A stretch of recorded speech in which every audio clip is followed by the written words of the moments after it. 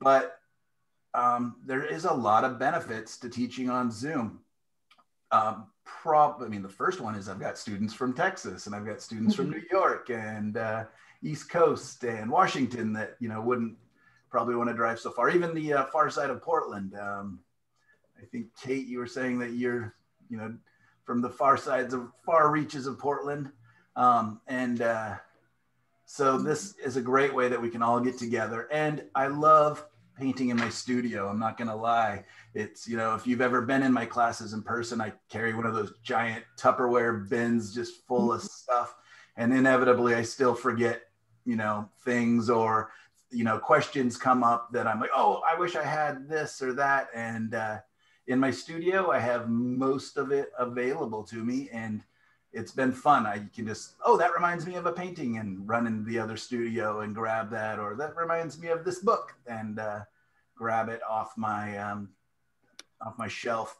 Um, I also have every color that I've ever bought. There's so very many, um, and so we get to play with that. Um, for those of you who have had me in the past, know a little bit about how I like to teach, and it's not too different than a lot of um, other teachers, except for I will say I do do a lot more painting um, than most teachers, I think. In fact, in college, most of my instructors, I don't know if I ever saw them paint. And being an exceptionally visual learner, I always found it very weird. I even remember, you know, taking psychology classes and painting classes at the same time and realizing that we don't even like if I just say a color red, we're all picturing slightly different variations on that. You know, and then it gets even much more difficult when I say, you know, a pale blue, green, gray. Uh, you know, uh, what does that mean? Um, and so by actually being able to show you I think it just that much better. And the great thing again about this video uh, format is you can paint along. I love when people paint along or, you know, are working on things, but it's just as fine to literally sit, watch, ask questions, take notes, and be a part of the class. And then you can go back, watch it. And if you're trying to keep up, I know I paint pretty quickly. I've been painting for, you know, at least a couple weeks now. And I'm getting faster and um, years and years and years. Um, you can pause it, you can rewind it, you can fast forward through the boring parts, like what's going on right now, and uh, get to the good stuff. Um, so I like to present my classes by basically describing what it is we're going to go over very quickly, uh, some lesson, if we have time, I like to do a little bit of feedback or critique, um, and that's what we're going to be using the Facebook group for. So please, if you have not um, signed up for, where did I go? No, not that one. Um, if you have not signed up for our Facebook page, Everybody can see the Facebook page now over here, Creative Color in the Luminous Landscape. Mm-hmm. All right. Um, we have 22 people signed up, so I think that means there's uh, two or three that are still not on there. So please sign up because that is a great place for us to share things. Here's the Zoom link for all the classes. And I just posted a bunch of pictures of uh, different skies because that's going to be part of our exercise today. Um, and where I can share notes, and more importantly, where you guys can share your work in progress as you're going along. Um, and I can give feedback, other students can give feedback, and we can all learn from each other's masterpieces and just as importantly, from our less than masterpieces, maybe even some um, paintings gone askew, paintings gone wrong. Um, people don't really like to hear it, but if you are taking time, paying attention, and being present with your painting, we can learn just as much, if not more, from our bad paintings. It all comes down to asking questions. And the cool thing is, is when we see other people's work, it might be fantastic and we can, you know, borrow some of the ideas, but we can also look at the other people's paintings and say, you know, that's really neat, but you know what, I probably wouldn't have done it that way, or I wouldn't do that. Um, and I want you guys to start doing that to all paintings as you're looking at them, all artwork as you're going forward, is kind of begin to give them gentle critiques and kind of how would I do it differently? Is everybody in here? Let me go back. Um, on the Facebook page. Raise your hand if you are not. Let's do it that way. Are not. Everybody. Oh. Oh, I am. I am. Susan, you're on there, I think, aren't you? Yeah. I couldn't find it. Where's? Uh, uh, did you get the email from me? Did everybody get a nice long email from me yesterday? Oh.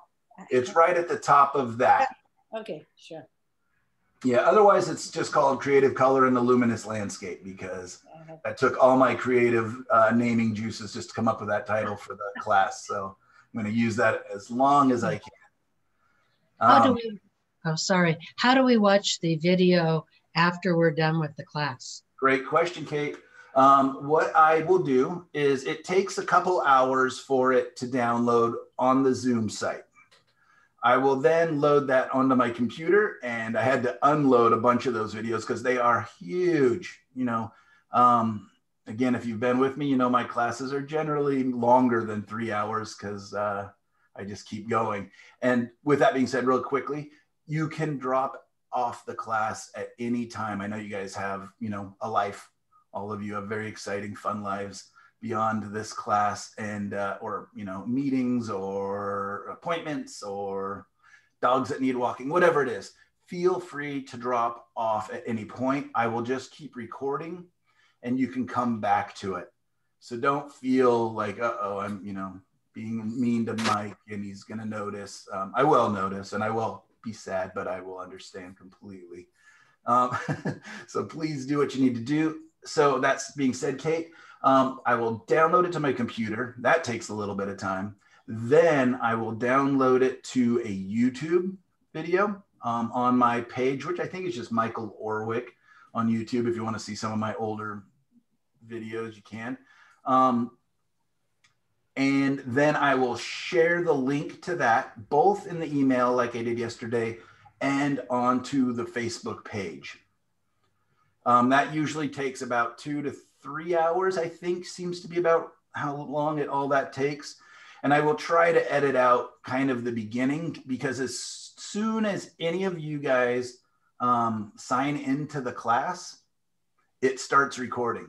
So don't do anything really embarrassing if you're the first person on the video because it's just you sitting there. um, that's why I kind of asked that maybe we sign in at 9:20. That gives us 10 minutes to kind of test everything make sure we're all on the same page.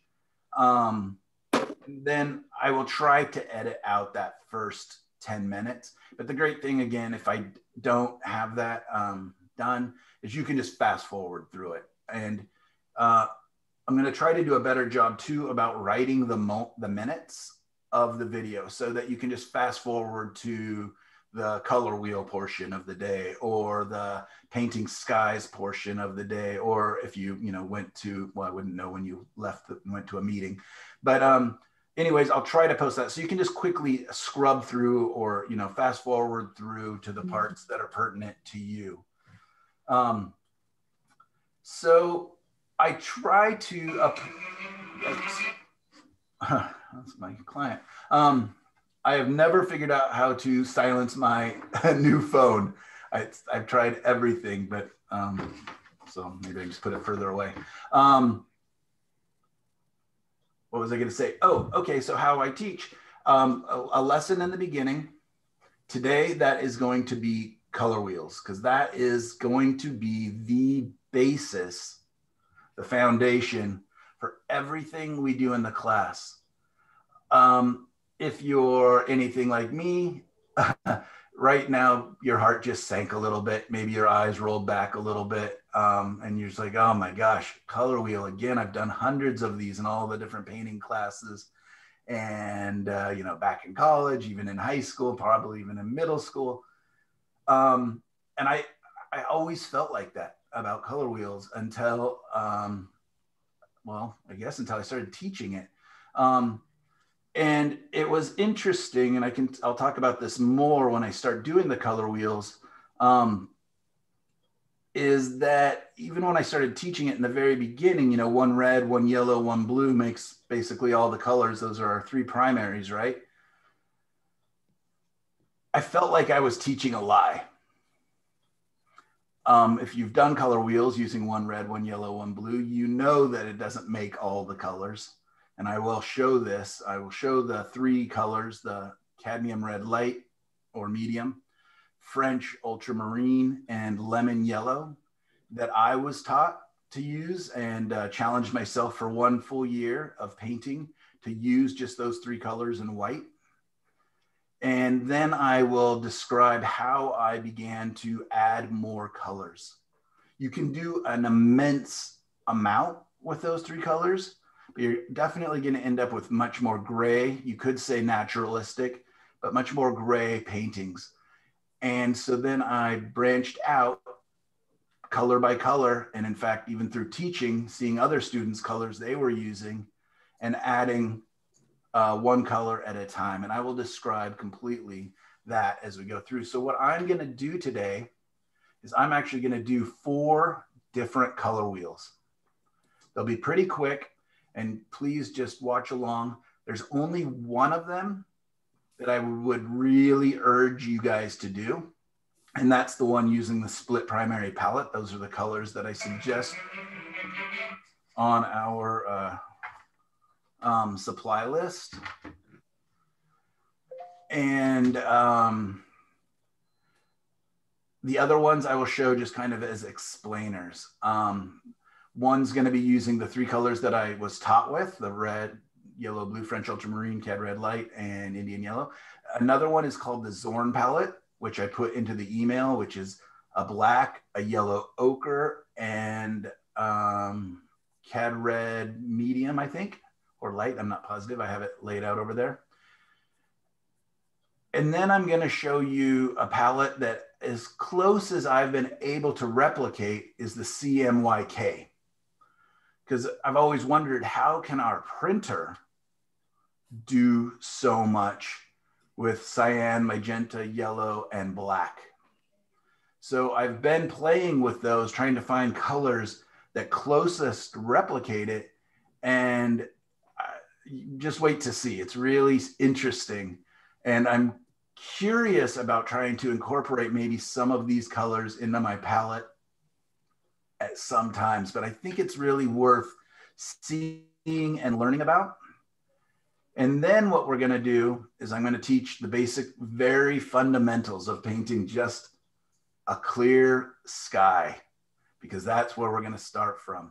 Because all skies are deviations on that. I will be painting about five very quick sky paintings. The um, and I only want well, I want as many as you guys want to paint, but I want one. I want your basic blue sky. And it's not, a, you know, not just mix up one color and splash it onto your thing. I will show you kind of the gradients as it goes from warmer at the horizon, lighter, more yellow, as it goes to kind of a green blue to a baby blue up to a reddish blue. Okay. And you'll see that, and I'll show some examples in my paintings that those gradients stay fairly similar, just mixing and the colors differently and uh, using slightly different colors. So if we want to get into sunsets, a lot of those gradients still exist.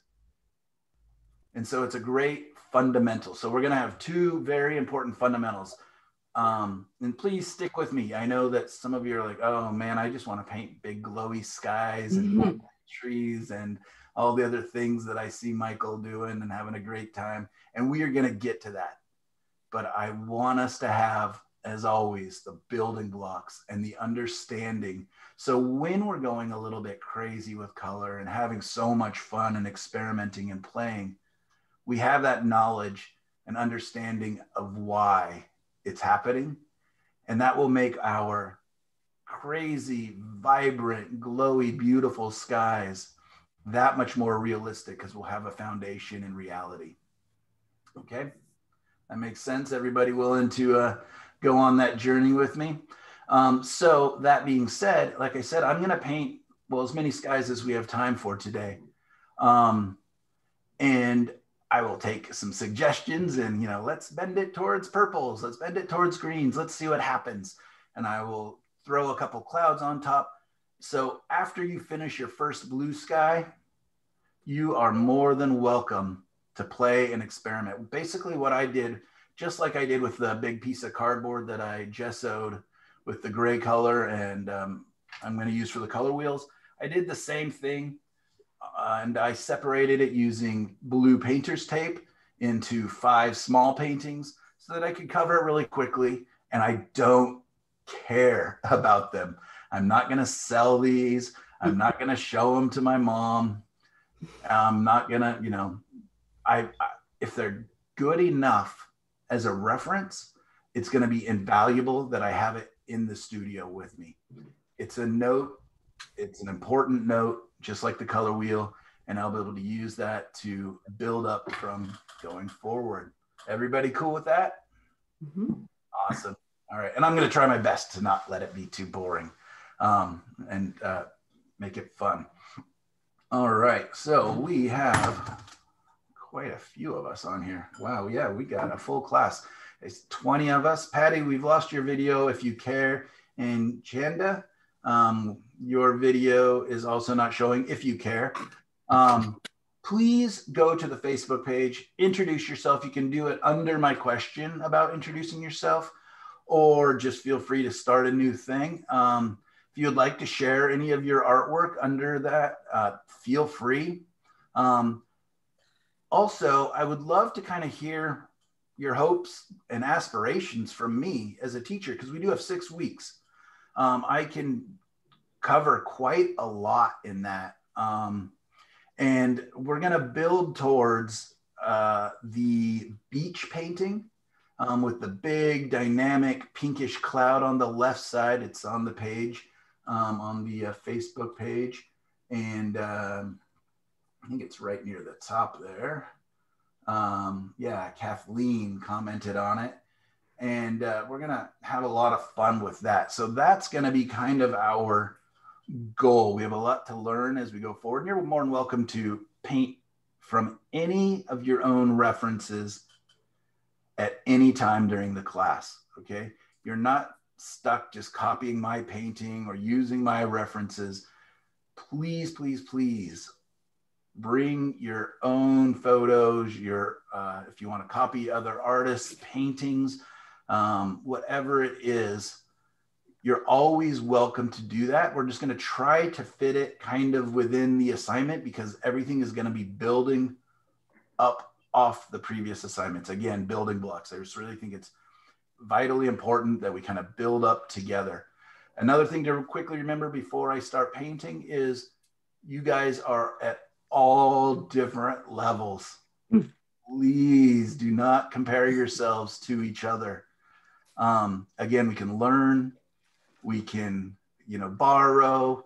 We can gently critique each other but don't be dissuaded by you know uh, stacy's masterpiece that she posts the first week. Uh, just yeah um, you know know that carrie's been painting you know off and on for quite a long time. Mary's been painting for a long time and some of you guys are absolute beginners and i that's fantastic. Um, and I'm excited to have you all in the class. In fact, when I teach at Clark College, which I don't do anymore, but when I was teaching, I used to teach a beginning, intermediate, and advanced class. And I really, over the years, came to realize that it's the same. It's the fundamentals. Just think sports, you know, the the pro athletes are out there still just shooting free throws and you know taking pitches and swinging their bat there's just practicing the fundamentals. But what we're doing is we're going to be pushing ourselves at the rate that we're comfortable with. I don't want it to be scary and too difficult. We're pushing at a rate that is just beyond our knowledge, just beyond our comfort, just a little bit. And so you'll know where that is for yourself. And that's all I ask for you is that you're just stretching your comfort zone a little bit, trying some new things. And hopefully, you know, at the end of these six weeks, you'll have a lot of new tools that will help you become the painter that you're meant to be, not the painter that I am or the painting that uh, Susan is or Michelle is, but the painting that you're meant to be. Um, so that being said, in the next class after this, I'm just going to promote it already. Just kidding. Um, will be about brushwork and edges. We will be touching on that, of course, in this class. The class that was previous to this one was composition and design. And I kind of like to build my classes just like I do each individual class is building blocks. And so um, composition and design was the first one. I think that's the most important part of painting. Now, the very fun part, everybody's favorite color. Um, it's the showy, loud part of painting. And then we get to go to brushwork and edges, which is kind of the finale. A lot of people want to jump to that right away. They, you know, see their Monet paintings and I want to hmm. paint like Monet. What does that mean? That means beautiful, big, thick paint. I want to paint like Van Gogh. What does that mean? Broken brush strokes and, you know, choppy, thick paint. Um, that will come. And, you know, you'll find your way of uh, painting that's comfortable to you.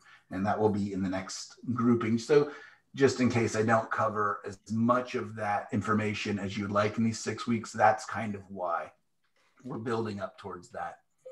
Um, I think we're already ready to go to the easel. That would be the fastest ever. Normally, again, I'd go back and forth to the page, maybe talk about some of your paintings if we have time. Um, and again, I'll give uh, feedback on your paintings on the site throughout the week um, as I can. So feel free to post at any time. All right, I am going to change over to this camera that's somewhere behind me. Um, and Michael, looking at my palette. Yes, please. Um, can we talk about um, just everybody generally muting their mics um, and then using the space bar to talk? Perfect. Yeah, that's one of the coolest things I discovered in the last class, you guys, is that all you have to do is push down the space bar um, and you can talk that way. You know, if your dog starts barking or the garbage man comes loudly, um, it doesn't take over the mic. The other thing you can do is go to that picture of me. Uh, there's three dots when you uh, hover your mouse over it, and you can pin that. Uh, looks like I could do spotlight for, for everybody. Um, you can change it from gallery view too to speaker view. Um, you know I talk a lot, so it'll kind of stay on me. Um, let me see if I can. Um, there we go. Any other questions as I move over? And I'll still be able to hear you. Please let me know if you're having any trouble hearing me. Again, I'm just using this, um, where is it? Ball mic here. And it seems to get my whole studio just fine find that a lot better than having a, a wired lapel. Um, anyways, I'm gonna change over. There we go. There's my studio. You see the uh, light turned off to the side there. I'm gonna go ahead and turn those lights on as I'm moving over.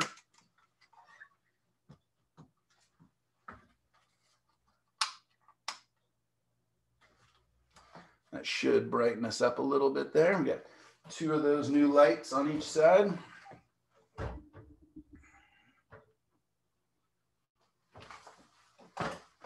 I just try to keep them off while I'm in the background there.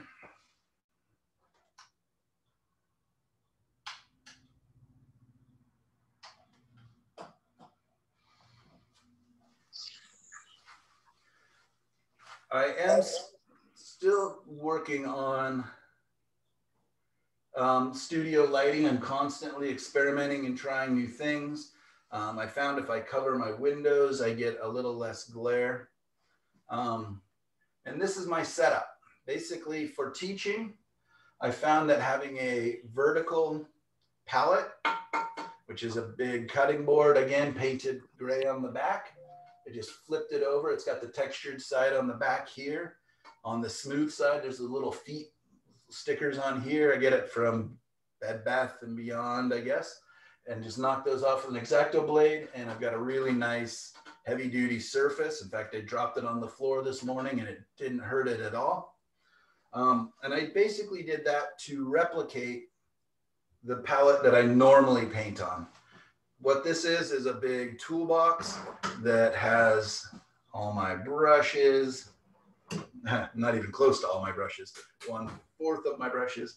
Um, and then in each one of the drawers below that, like that's my whites and grays, my yellows, reds, blues and greens, browns, and blacks and super dark colors.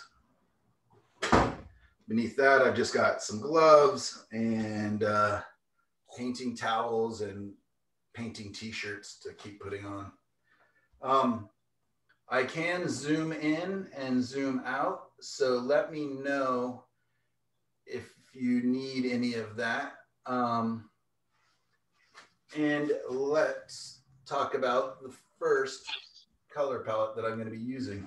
So in the very beginning, do does anybody need me to go over really quickly kind of the very um, my very basic setup here like I have paint thinner over here some of my mediums I use um, a glass scraper to clean my palettes I find that to be much easier that's one of the huge benefits of glass um, if the paint's ever really really stuck on which you can see it's pretty well stained normally this thing is really clean I will actually scrub some rubbing alcohol, 90 proof rubbing alcohol.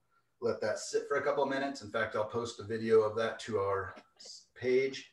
Um, paper towels. I go through so very many paper towels every day. I order these in bulk off Amazon or from Costco. And uh, basically how I clean my brushes is, is I take my paper towel, I pinch the paint, the brush, and pull, and that'll get a lot of the paint off. And I do that before I dip it into the paint thinner. Otherwise, it takes so much more time to clean your brush. Um, I'll scrub that in the paint thinner just a little bit, bring it back out, and do the pinching thing again. If I'm still getting a huge amount of color and I don't want it, then I will just do the process again until I have my desired cleanliness of brush. Hey, Michael. Yes. This is Darla. Um, do you, what kind of brand is that? Is that Costco's brand for paper towels? Uh, I can share. Because you, are you trying to avoid like, do you try to avoid lint on like them putting any lint on the paint? Yeah, definitely because I do use my paper towels to paint with from time to time uh, lint can become a major hassle. It's always a bummer to have to go and pick out, you know, paint bristle hairs and lint. Uh, when I had a golden retriever, go, dog hair all the time, no matter if the dog didn't come up to the studio that day. Um, so yeah, lint can be an issue. These definitely seem to put out less lint, and it's just a blue shop towel. Um, I don't know the name. It looks like I take I took the uh, wrappers off all of them when I put them away. Um, if you can see behind me, that that white um, whatever you call it closet over there, that is filled with paper towels, paint thinner, my paints, all my supplies. So I, you know, I try to set up everything so that it's kind of in this contained space um, and easily, readily available. Um, so there's that. So my what first, kind of easel? What kind of easel do you have? Oh, the best one in the whole world. It is called, Let's see if we can see up top there. Oh, crap. Sorry, guys, I just uh, disconnected it. Let's see if I can get it back. I can't move the camera very much because uh,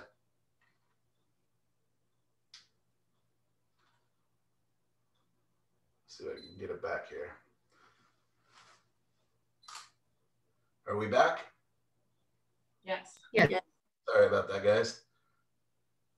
I have to go through this again. Um, anyways, I have a very short, uh, very short line on this. Well, six feet, but because I'm pretty far away from where it's plugged in already on the computer. Um, it is uh, too shiny. It's a Hughes easel, H U G H E S. Um, I actually have two of these, um, one in both studios. The room next to me is my old studio, and uh, my poor wife um, has completely let my daughter and me take over the whole upstairs for uh, all of our art stuff. Um, and when I say the whole upstairs, I mean every inch of it. Um, we have a framing studio. We have huge amount of storage area for all of our canvases and painting stuff um, in the attic and uh, two studios. Um, and right now there's paintings piled up everywhere. Uh, maybe I'll give a tour on my iPhone and post that later so you guys can kind of get an idea. I know a number of you have been able to uh, visit my studio in the past. Um, the Hughes easel, why I love it, and here just to show off a little bit, is it's very adjustable. And I can put six foot paintings on this, um, which I do paint um, for uh, commissions and different projects. I do paint really large. And in fact, um, I had talked about getting one of these easels for years. Um, and I got a commission to do a what was it, six feet tall by 20 feet wide painting for um, a hotel. And I was, um, we did it in four parts, so quad tick, I guess it would be called.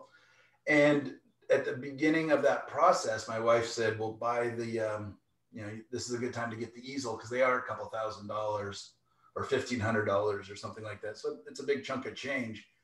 And um, I said, well, I will buy it after the project because I'll have money. And she said, you know, get it now because it'll make the project much easier. And the thing that hit me is like realize that these things last your whole life. They, you know, they'll, they'll be heirlooms. I'll be able to pass them on. And uh, I mean, they're really sturdy. And so basically, not having it and planning to have it was actually a waste of money because I would have it forever. And I, I absolutely love it. I love it more than I love my new car. Um, it's, you know, the one thing I wish I could grab and carry out if there was a fire. Uh, the gentleman who makes them is getting older and uh, slowing down, and there's quite a wait list on them. You can find them some from time to time. You know, people are selling theirs, but um, anyways, it is my favorite possession. Um, and yeah, it just makes painting that much more fun. Um, I like to when I paint, I like to keep the my brush at about shoulder height. I stand when I paint. Um, I just find I do a better job. Um, and I get away from the painting. I walk away from it so I can get a better sight of it. I can see it better. Well, easel. What's that? What was the name of the easel? Hughes, H U G H E S. So yeah, if you've got the means and you plan to paint very much, you can also, this one's on wheels and I can roll it around the studio just like my, my um, box with all the paints is also on wheels. In fact, most everything in my studio is on wheels. I have laminate, um, fake wood laminate floors. So it's kind of a very versatile studio. I can move things around um, depending on big projects and different things. Um, my lighting is quite versatile, can move it around. Um, and that's just because I'm doing commissions. My daughter does commissions. Um, so you just, you can change it to fit the project that needs, you know, as you need it. But you can attach these easels to the wall. Uh, unfortunately, my ceiling, I can reach up and touch my ceiling. That's the biggest um, pet peeve I have about my studio. Um, I would love to have, you know, nice tall ceilings because you'll hear this. That's the easel hitting the top of the ceiling as I try to take it up. So I'm not able to use its full height when I paint. So that does mean if I'm painting a great big canvas, I may be on my knees painting or ducked down or sitting in a really low chair, um, which is a bummer because if I had vaulted ceilings, I could just stand and paint because this thing can go really tall. Any other questions, you guys? Please. Um, oh, and then palette knives, especially for today's project. Uh, we're going to be trying to mix nice, clean colors. Palette knives are immensely easier to clean than brushes. So when mixing clean colors is essential to you, I urge that you, and maybe it's just great practice as we're starting out, to just mix your colors with a palette knife.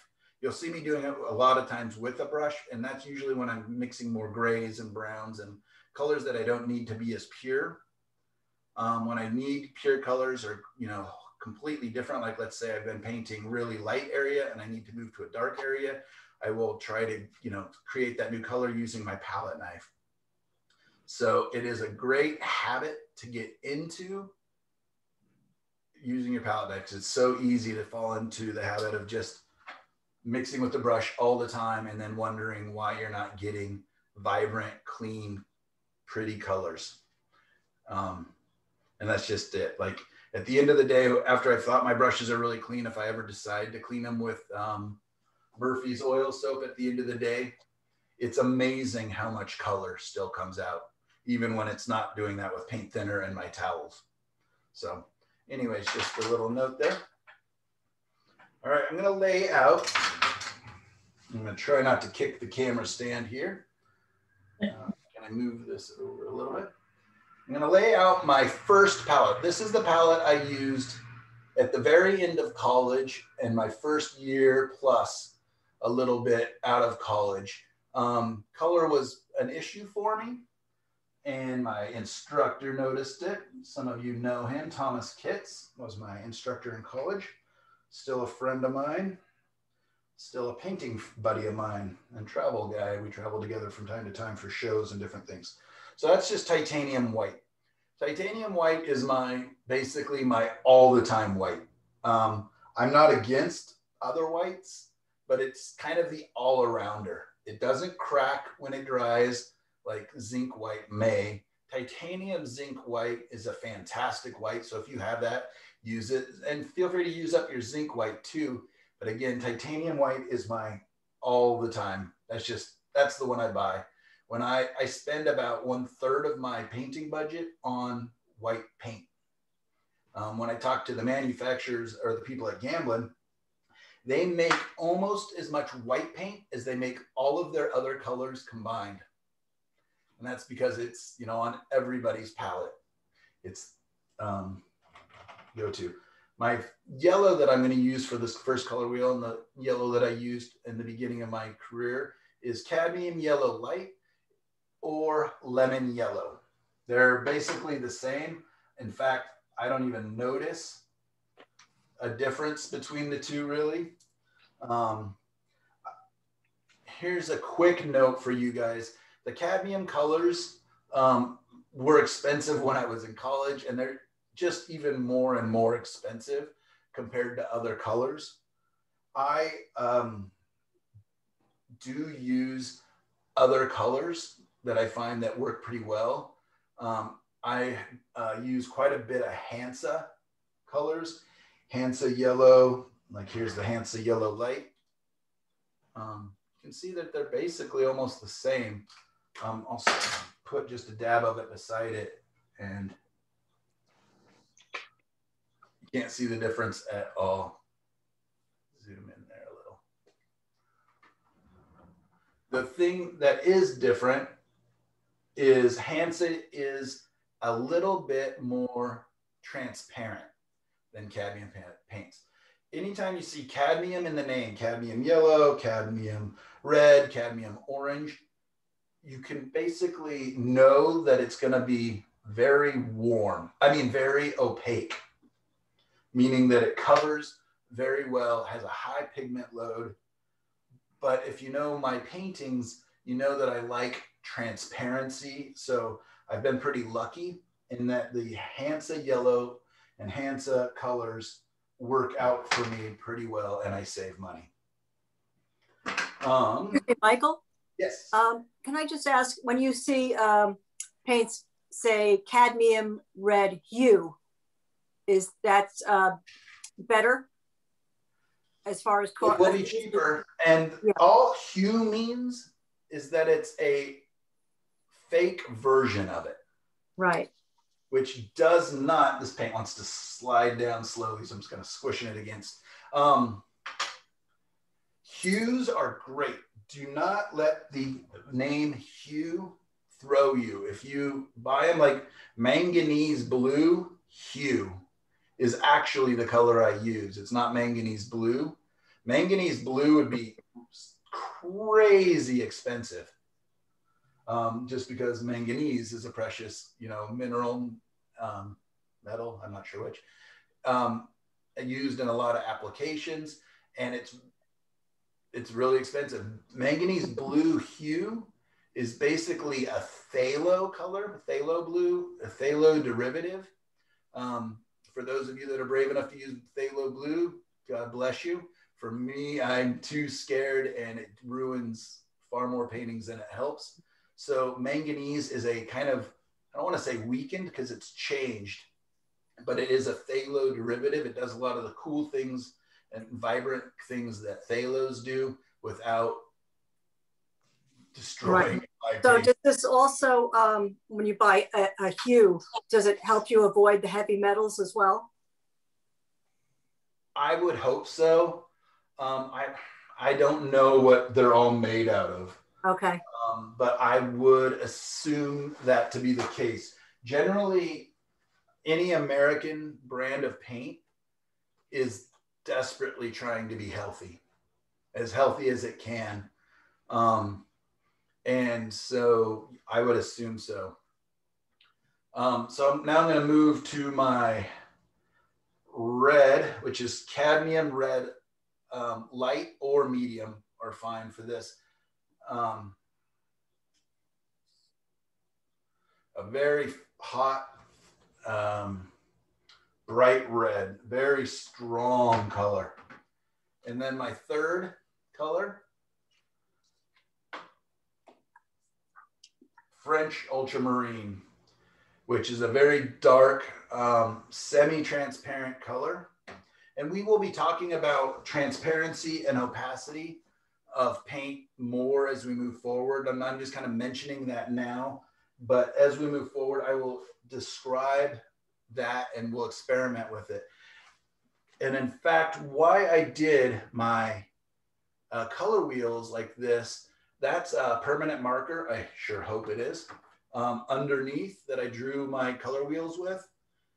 And um, you'll be able to see the marker through the more transparent colors and the marker will disappear underneath the more opaque colors. So that's a great way to experiment. A lot of times on a piece of paper or whatever, I will just draw a um, line with a permanent marker, take my paint really thickly, and then thin it as I go across and see at what point do I see the black line underneath it is a great way to kind of test your colors.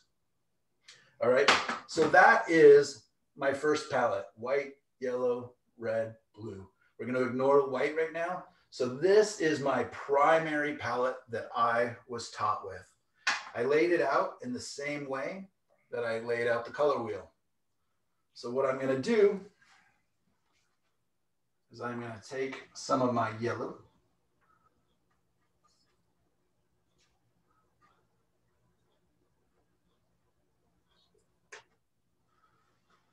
All right, we've started painting. Clean that brush. In fact, I'll just kind of set it aside because it's gonna be really hard. This is a great thing about having it in the studio. I've got all my hundreds of paintbrushes so I can, I'll just have a big cleanup job at the end.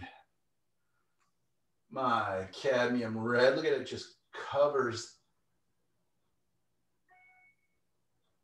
that permanent marker underneath there, my Sharpie.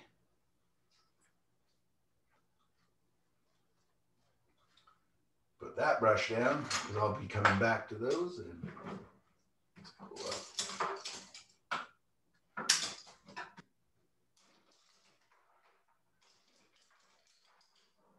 And my French ultramarine.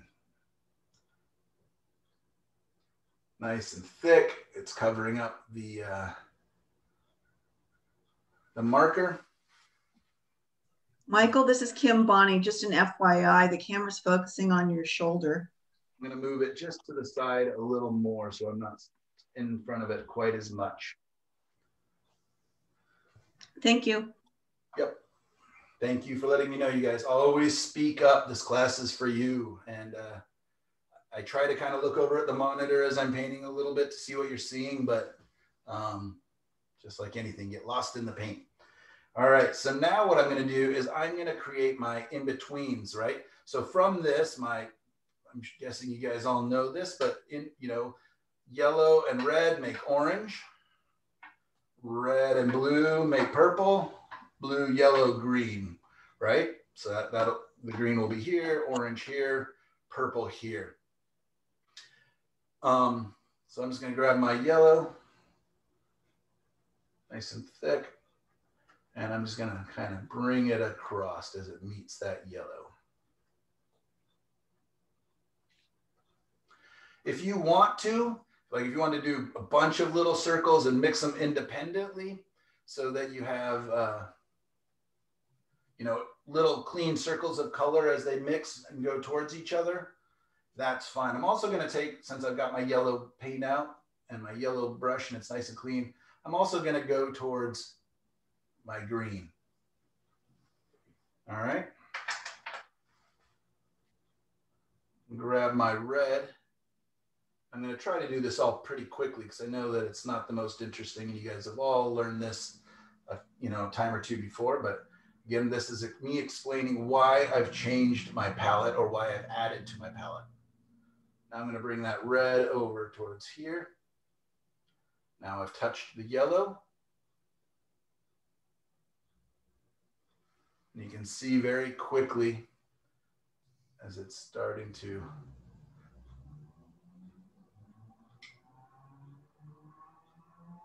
change. So zoom in on that orange a little bit there. Makes a very nice orange. I'm gonna go ahead and make a nice clean pile of that here.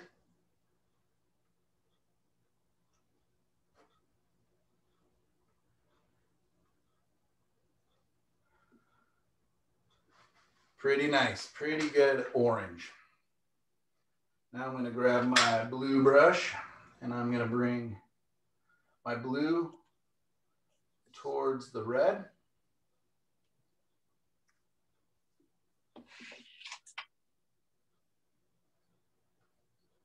There they're touching and it should be making what color? Purple. But instead it's making a god awful dark browny plum color.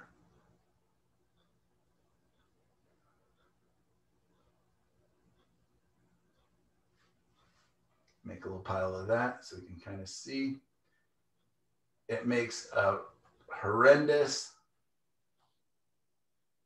not purple. Anybody want to tell me why that happened? Why did this red and blue not make purple? Because you still the had red's yellow on got the brush? yellow. Oh, you guys are awesome. All right, one at a time. This is Kim Bonnie. Because the CAD red really do, has a lot more yellow in it. Nailed it. Perfect. Anybody else have anything to add to that? I'm going to clean my blue brush because I'm going towards the yellow now. I don't want any of that red from the purple. So just quickly dipped it in my paint thinner and making sure I don't have any contaminants. Um, it's nice and clean. Grab this blue and I'm, I'm not going to use as much blue because the, the yellow, even though it is a cadmium color, is much, always know that it is a weaker pigment load or a weaker pigment.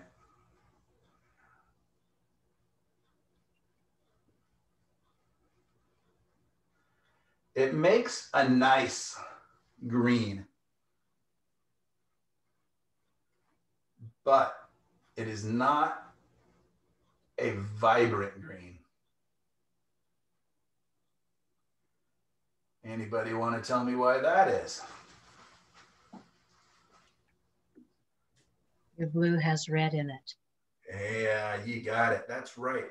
So the simple question be, well, why don't I use a pure yellow, a pure red, and a pure blue? Because then surely I would be able to make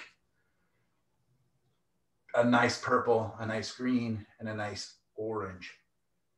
But the fact is, in oil paints, we just don't have that. A cadmium blue, I mean, I'm sorry, a cobalt blue would be probably a, a better blue than this French ultramarine that I was taught to use. Um, and, you know, maybe a slightly less orangey red may be nice but I found that you know it just doesn't quite do it. And in fact, you know this weird brown plum color, I'm going to go ahead and add a little bit of um, white to that so you can see kind of where that color went to. It's so dark that it's hard to see. Um, so it is purple E, but it's primarily, it's much more gray. Um, so anyways, after working with that, and this green is fantastic for landscape painting. It's, you know, actually tr truer, especially in the Oregon, Pacific Northwest, you know, New York areas. It's much more um, olivey because of that little bit of red. So it's very useful in plein air painting and painting landscapes. Um, but, you know, if you want to paint some spring greens or you know, golf course greens or, you know, vibrant, vibrant greens, you're just not able to do it. So you can do a huge amount with this. And there's still times when I want to pack lightly when I go out painting. I just want to throw it into a little tiny bag, carry as, you know, I'm going to hike. I want to carry the least amount of weight. Or I'm, you know, it's all about fitting it into my suitcase. There, I'll still go to this palette and be able to do a huge amount. But over the years of teaching this, and again, feeling like a, a liar, as I'm like, okay, kids or adults or college kids or whatever, we're going to make a color wheel and we're going to make, you know, we're going to use the primaries to make secondaries. And it just doesn't really happen. Um, I began to, you know, first experiment. Well, what if I used a different blue, a different red, a different yellow, and found, you know what? It just doesn't get there. Um, there's a book out there called Yellow and Blue Doesn't Make Green, um, which I've not read. uh, but in it, I've read sections of it.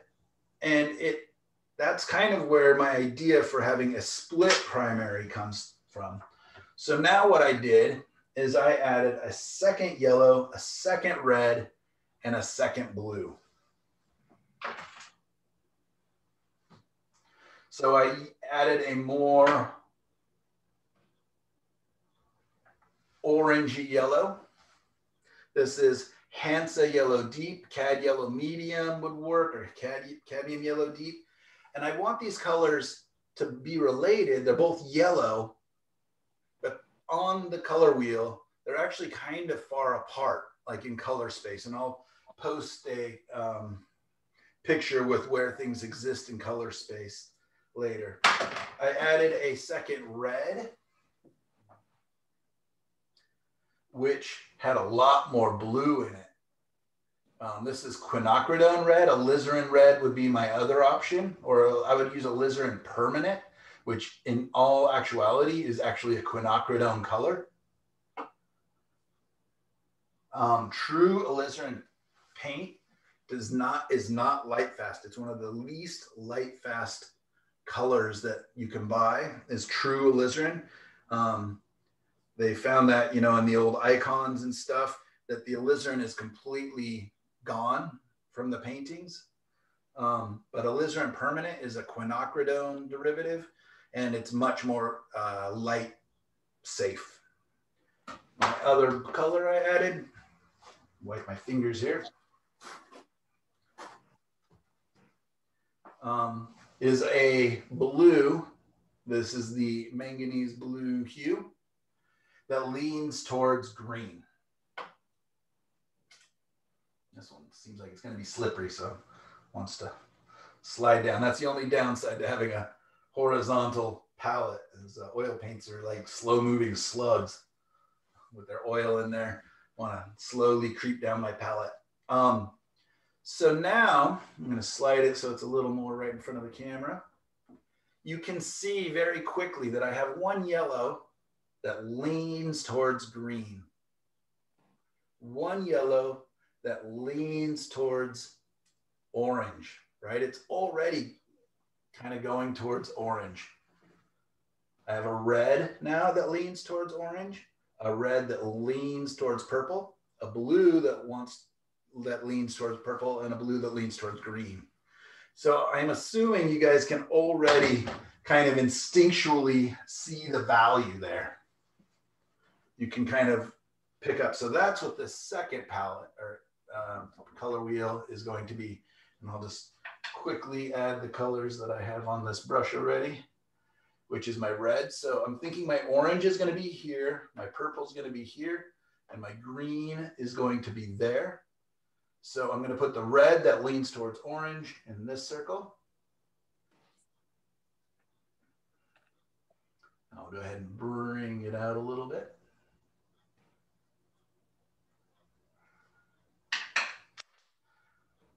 My red that leans towards purple, my quinacridone.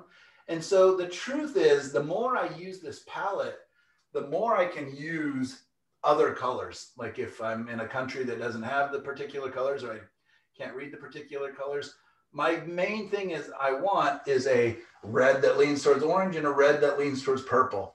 So that's why a alizarin crimson would work fine, or cadmium red medium versus cadmium red light, or any of the other, you know, plethora of red colors that I don't even know what, you know, the vermilions and uh, anyway, so I just looked through my drawer. I've got tons of different names. Um, all right.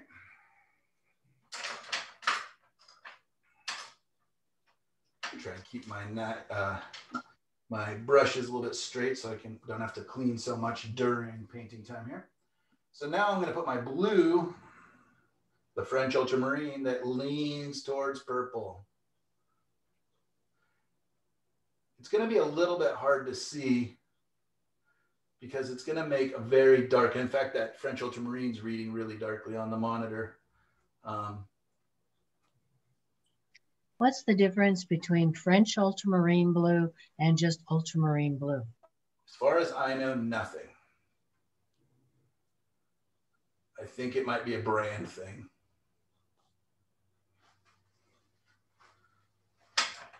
Not a very good transition there. So, so you can see that again, it's made a very dark color, but I'm going to add white to that color. I'll just do it right underneath it.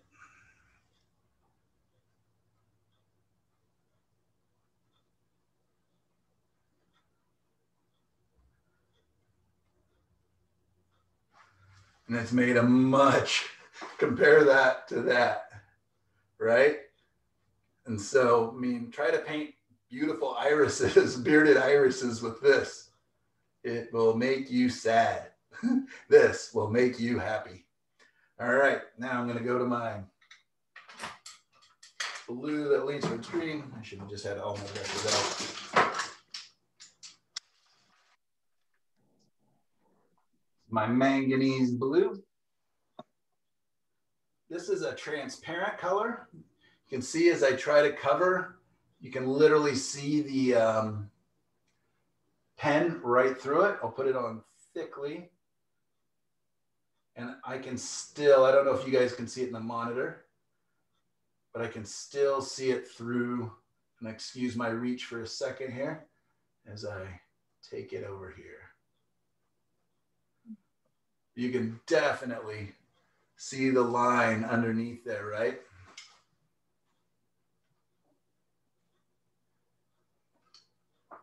Everybody see that? Michael, um, it's Jean, and I don't, I, I don't have any manganese. Can I use the cerulean? Cerulean is a fantastic color, yeah. Cerulean is, in fact, thank you for asking that. Cerulean, in fact, is the color I used in manganese blue hue, manganese blue hues space for years. And in fact, it was in teaching at Clark College where a student did the inverse, said, I don't have cerulean, can I use manganese blue hue? And I, you know, didn't even know very much about the color. I said, sure. Um, and in watching over the student's shoulder, I went, oh my goodness, that color is fantastic. And I'll talk a little bit about that um, as I put on my yellow here. I'm going to put my yellow that leads towards um, green, which is again the lemon yellow or the cadmium yellow light. What I found was I could never make cerulean as vibrant, oops, as vibrant as manganese, but I could make manganese as subdued as as uh what's the color again? Cerulean. What? Cerulean. No. Uh it, as the other blue anyway we were just talking about. Um Ultramarine. no, the one you just asked about, the blue that you wanted to use instead of the manganese. Cerulean. Cerulean. Cerulean, yes, cerulean. I heard vermilion, sorry, as cerulean. Um, I, I can make this color subdued and make it do the things that cerulean does.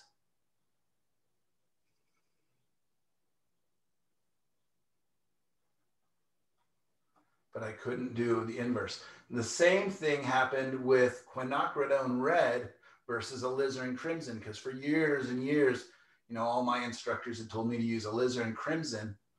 Um, and then the first time a student brought in quinacridone red instead um, and asked if I could use it, they could use it. Um, they put a little bit down and uh, I, wa- I went over and I added some white to it and was like, that is crazy horrible. Like, why would I ever need that bright of a pink? You know, little did I know I'd have a daughter a couple years later. But um, it makes the most bright and exciting pink that I'd ever seen, but cool, a cool yet very vibrant pink. And let's see if I have some alizarin crimson so I can just show you side by side. Um, I may not even have any anymore. Been so long since I've used it. Oh, interesting. If you have both quinacridone and alizarin, um, ah, that one. All right. I'll go ahead and lay this out beside it. There's how the alizarin appears. It's quite dark. And, uh, then I'm going, I'll go ahead and mix that with white.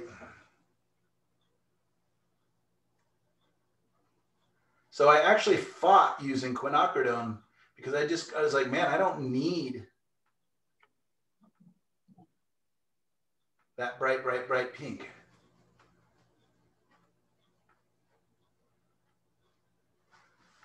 So you can see quite the difference in vibrancy.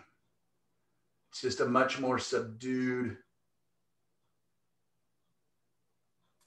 pink. Michael, You- what is that red that you're mixing now with white? crimson or Liz, Liz.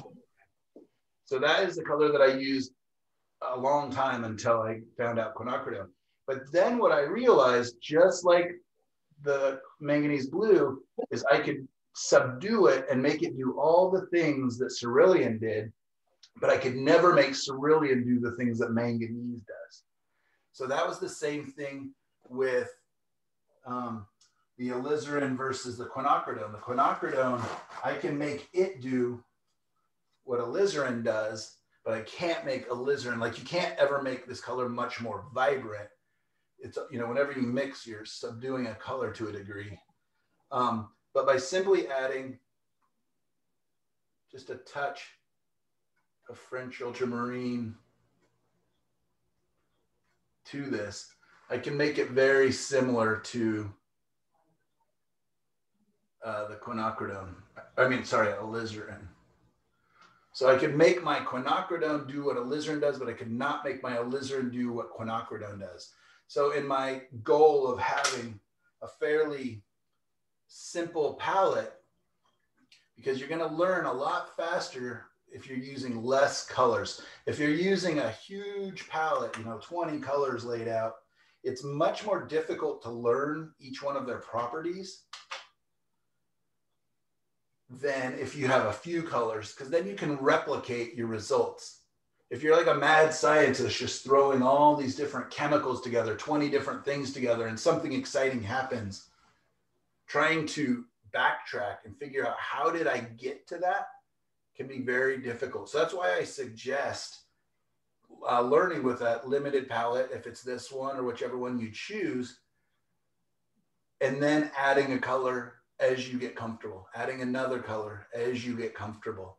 It takes a little bit of time, but it will add, it will speed up your learning process in the long run. All right, I just need to clean a new brush here so I can get to my orange.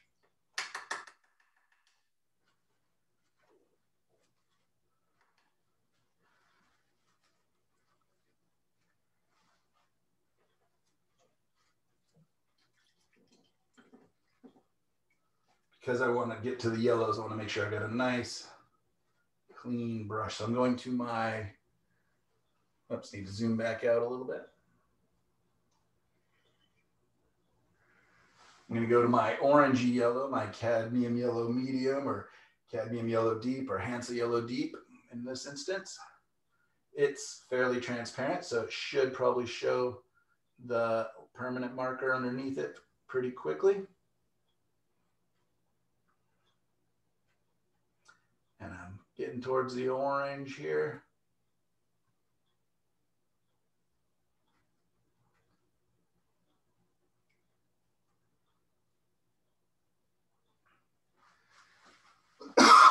Excuse me. And you can see, makes a really nice bright orange.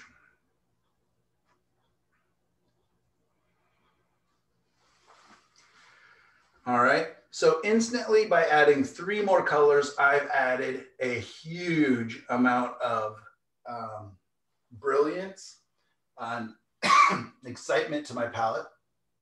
What I put this other color wheel underneath for is you can make an orange with my quinacridone and my lemon yellow, and that's what I was gonna do here. My green could be with my um, orangey yellow and my French ultramarine and my purple I can make with, you know, these colors and bring them together. Um, I'm just gonna go ahead and skip ahead to make sure we have enough time. But what will happen, and you'll see it, is they'll become much more brown as they meet in the middle because they have hints of the other color. Um, so yeah, and that's going to be a big, big point. And I posted the um, the quote on the Facebook page about um, got too heavy of a weight on here, so it's kind of sinking. Um, every color is friends with its neighbor, meaning all these colors get along really well. They're easy to mix. They're going to stay very vibrant, but a lover of its opposite. And if ever you want to subdue a color, like let's say I made this really nice vibrant purple, you know, and I put it where I wanted it, but I need a lot of areas with a more subdued purple. I, I'm going to look across the color wheel to the yellow and bring those together and I will subdue that purple very, very quickly. Learning to mix across your color wheel is one of the greatest things you can do. And all of the colors that exist in this space in the middle of the color wheel are my favorites. These colors are all very dramatic and very exciting and you know would definitely draw our eyes towards them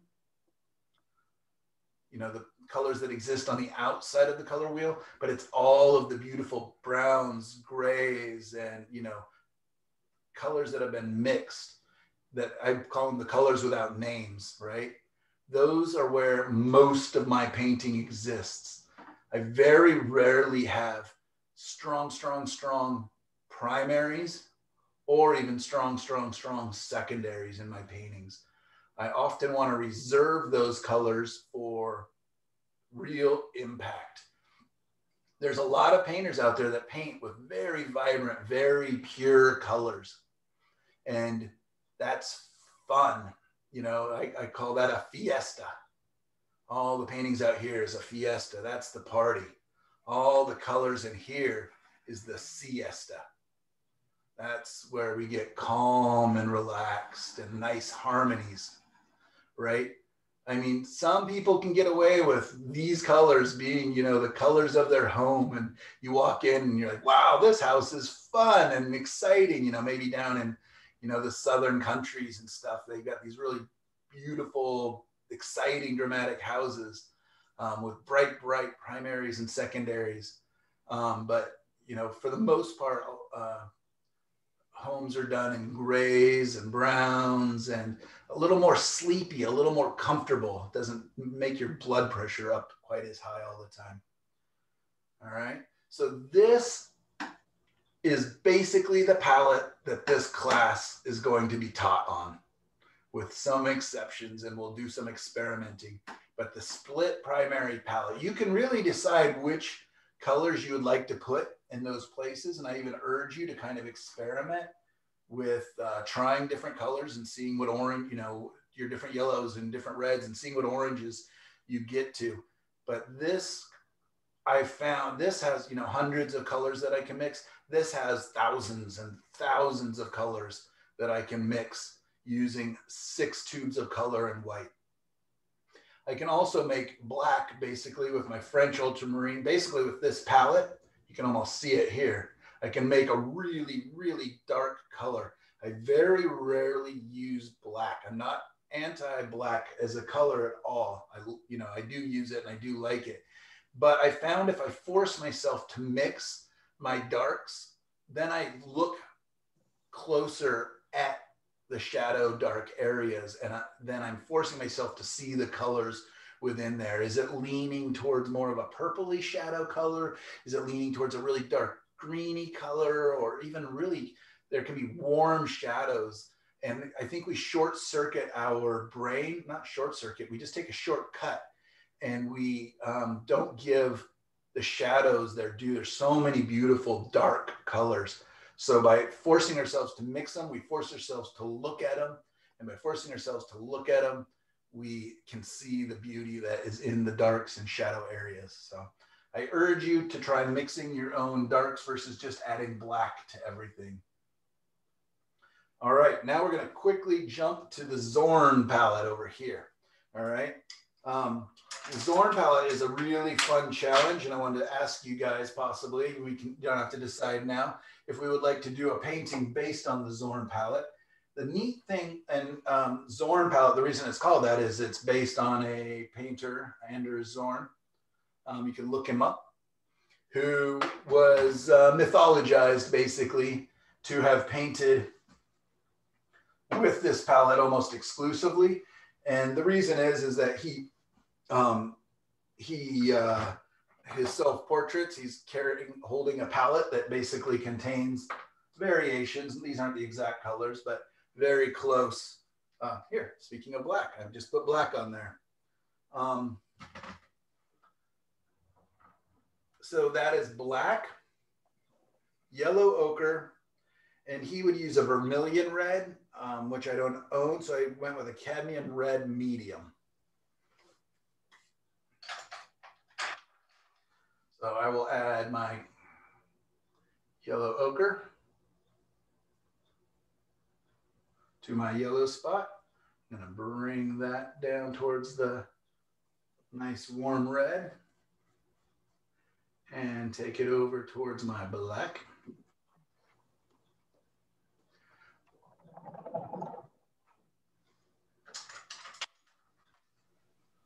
Michael, what color of black are you using? There are several. in an ideal world, I would be using a Mars black is closer to what he used. I don't have that. I mean, I can look one more time, but I think I'm, this is an ivory black. Yeah, I don't have Mars black. Um, so if you have Mars black, that would be closer to the true Zorn palette. Um, and if I were not trying to replicate him, like if I was just showing you as if I made up this palette, because it's a beautiful palette, I would actually be using Payne's Gray. I love Payne's Gray. It's a very dark gray. Actually, what I can do,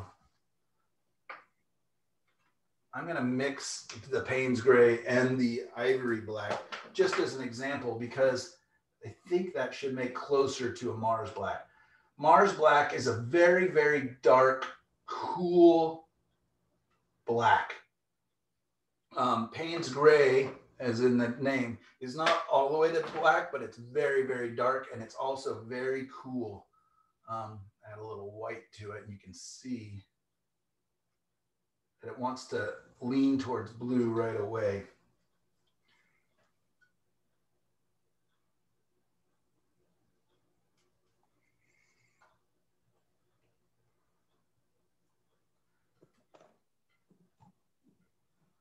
Versus the ivory black. which is just a little bit warmer. It's probably going to be kind of hard to see that on the monitor. Um, but when I look at it closely, my ivory black is just a touch warmer than my Payne's gray, or if I had Mars black. Um, so I'm to add my red. I'll take that over here. and over here.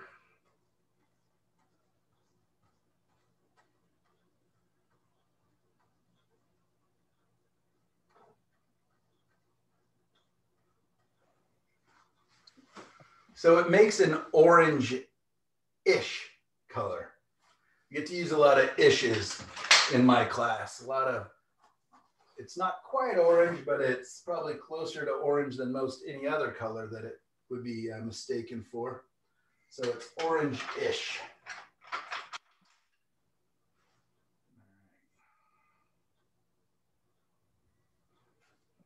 Putting on the black here.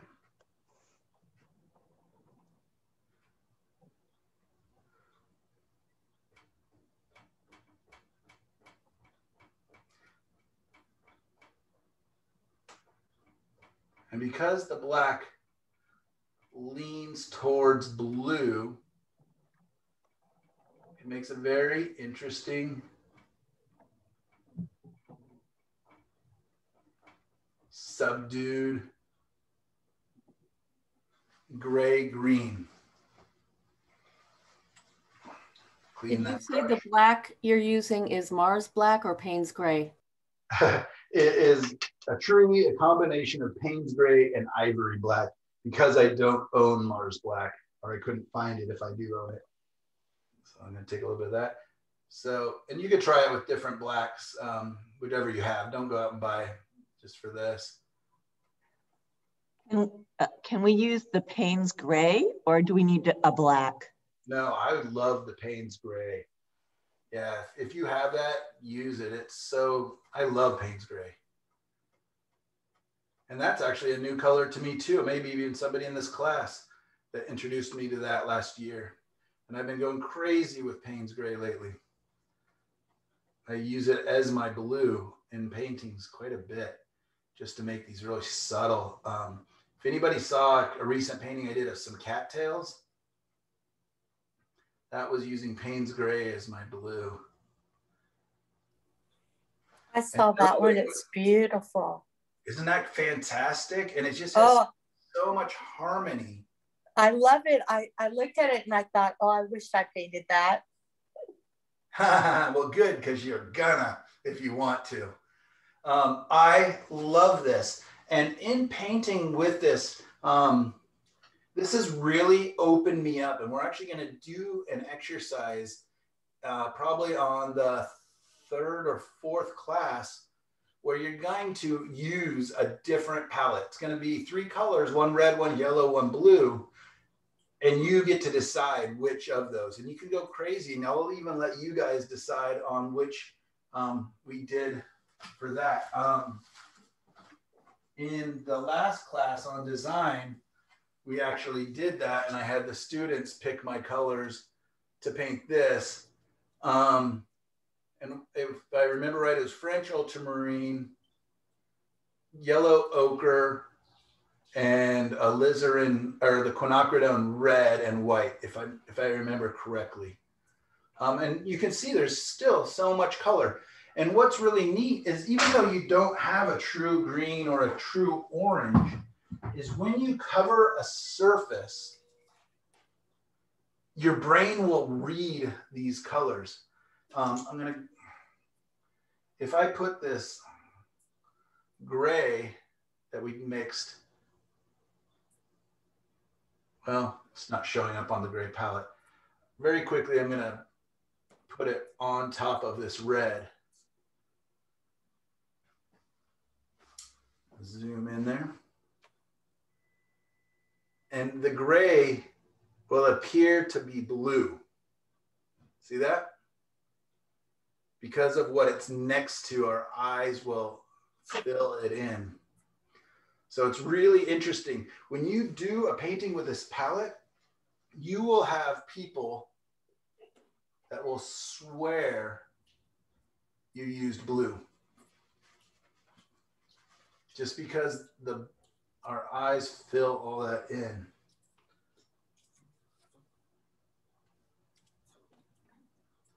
All right, so there we go. That is our version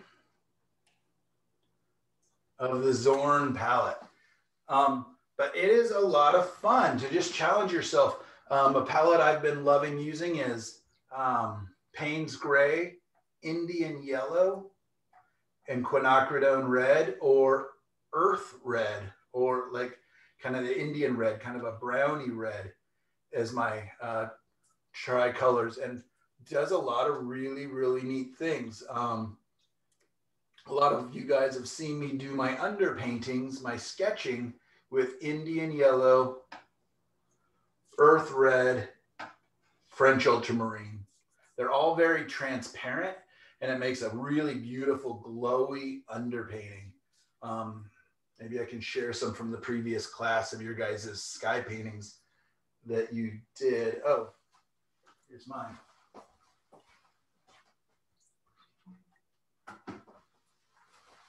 I never got back to finishing it, but you can see a lot of the glowiness and how much color you can get just using that. Um,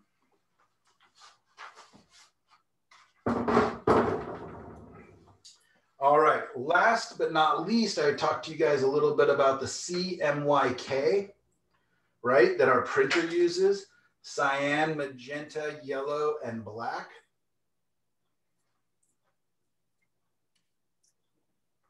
This is a strange one. So again, after lots of experimenting, trying to figure out, I, I thought, of course, it's got to be manganese that is the, um, just got throw all my paintbrushes into paint thinner here. I'll need new brushes for this. Um, I thought for sure it was manganese, quinacridone red, and then the lemon yellow that would do it, but it really did not um, live up to what I wanted. So after much experimenting and trying different things, now I'm using Hansa Yellow Light or yeah, Hansa Yellow Light. Clean this off nothing worse. So if you guys have problems with your paint tubes getting all gunked up, before you put the cap back on, just uh, give them a wipe down. Ah, man, it's funny how oil paints go everywhere. Um, and then the lids don't want to go back on. Okay, then my red, this is the weird one. And I had to actually go out and buy new tubes of paint that I hadn't used before to um, figure this out. This is quinacridone magenta. So I found a magenta color. It's like quinacridone red. Here, I'll put it next to it. it's very slimy. But uh, you can see it's darker and it wants to be even more purple. It's a beautiful color, but I figured I, I thought I could probably make that color with quinacridone red and a little bit of French ultramarine. But for this, I found this to be the best. Now, here's the weird one for me. The blue, the, uh, the cerulean or the CMYK, the blue, I found uh, cobalt teal. And I had to call Gamblin and talk to Scott Gellatly over there, one of the paint manufacturers, and figure out a color. Look at that color. It's so beautiful, but it is so foreign to me. And when I bought it, I was like, well, no, he's surely wrong. That doesn't, that's not blue. How is that going to make blue? Right? Isn't that weird, you guys? Plus black again. I would add black where I need it to darken the colors in this instance. Um, I would probably, I need to go out and experiment and try using this in plein air and see what happens. I'm a little bit nervous. Um, but um, so far in my experimenting, I've, uh, I'm really considering possibly changing my manganese over to a cobalt teal, which is um, not as transparent at all. Um, I have my colors here. So we got my Hansa yellow light. I'm set them aside so I don't mistake the names. Hansa yellow light I'm gonna put on here. It's quite transparent. You're gonna see the lines underneath it quite quickly as I go towards my magenta. Come back up, pick some, take that towards my cobalt.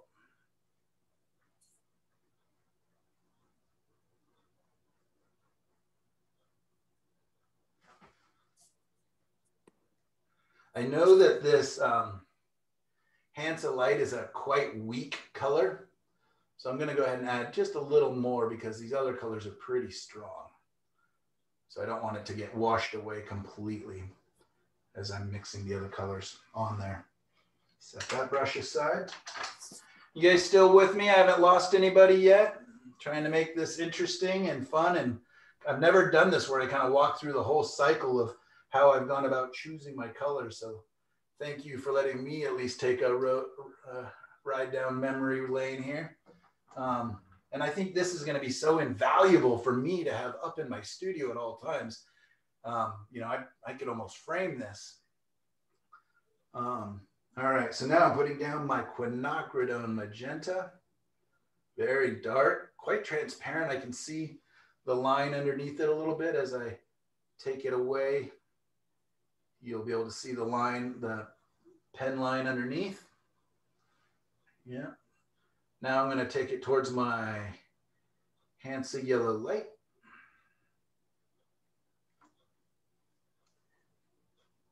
Michael, if you uh, question, if you just have a magenta, I want to say purple, a magenta, rather than a quinacridone, is that a good replacement, just magenta? It's not a great one, but it's fine. Yeah, experiment with it, try it. It'll you'll get a much more purpley. You'll get prettier, easier purples, but you're gonna have a hard time making um, brighter, warmer colors with it. That's my assumption. All right, so my orange in this instance isn't quite as bright as I remembered it being. Oh, and I bet you, you know why? I bet you because it's so transparent, it's sitting on top of that gray. So I'm going to try to make a good pile. I'm again just assuming maybe this would have been better on a white surface. Excuse me, Michael, has it ever mattered which direction you take it? If you go from yellow to the magenta or magenta to the yellow in terms of the way it mixes, or is it irrelevant? It is irrelevant, but it does matter when you're glazing. So if I put down a very fine, um, smooth surface of the yellow, let that dry and then glazed in with the quinacridone magenta, it'd be different color slightly than if I did it the opposite way.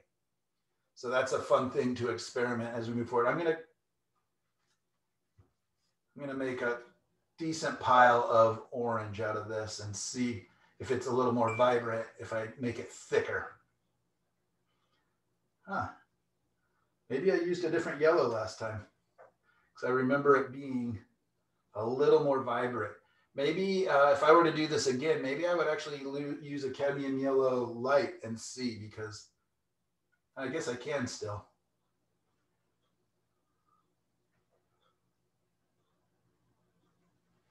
There it is as a thick paint. So that's definitely brighter. So it's the gray of the panel showing through that's kind of neutralizing the color because they're so transparent. Um, very quickly, just a sidebar here. I'm going to take that up and I'm going to try it with the, uh,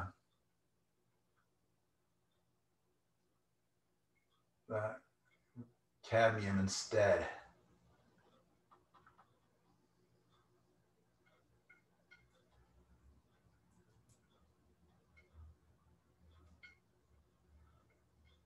Can you guys see that? Am I still on the screen? Yeah.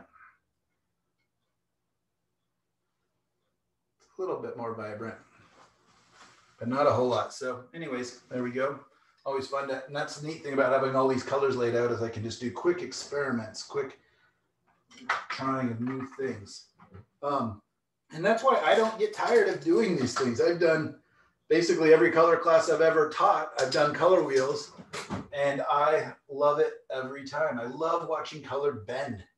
I love watching it change as it you know moves around.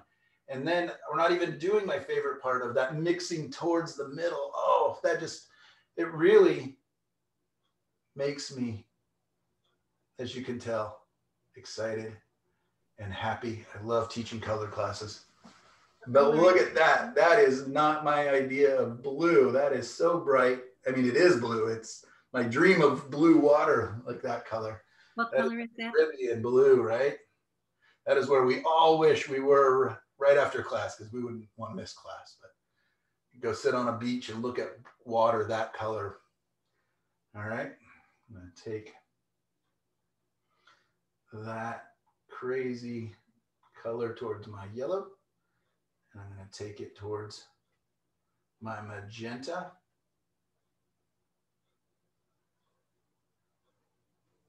And watch, this is what blew my mind. Makes unbelievably beautiful purples, but here is where it gets crazy.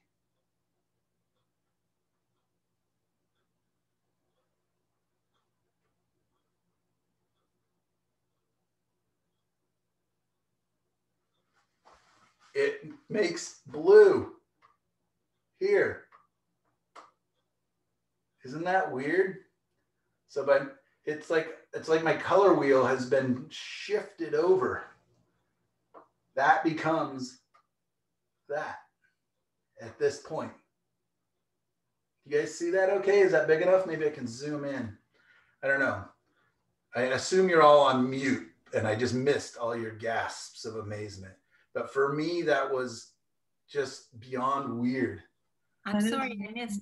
I had an emergency phone call. What blue did you start with? That was cobalt teal, ah, bending towards the quinacridone, and it really does make oh just beautiful purples. Let's see if I can.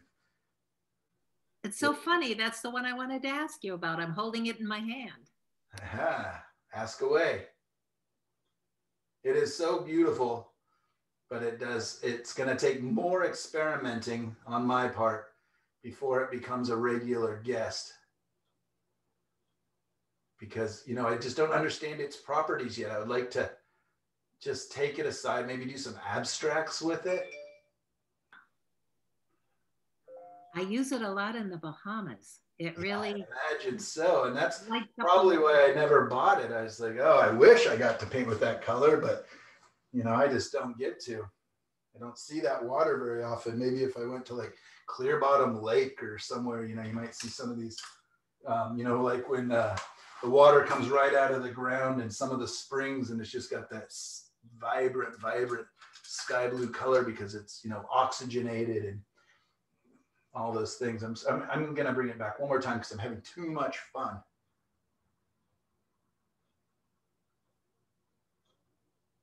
This is Kim Bonnie, just a, a geeky thing. That color is made by copper sulfite or sulfate, sulfite or Sulfate.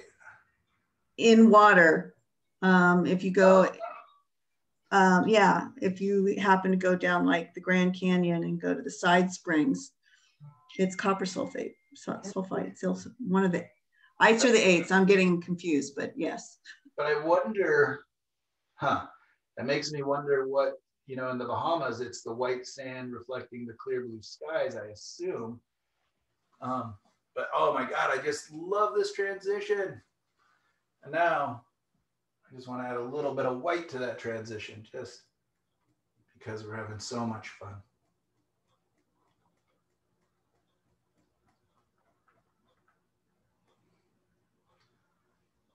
Thank you guys for letting me geek out on this for just a second.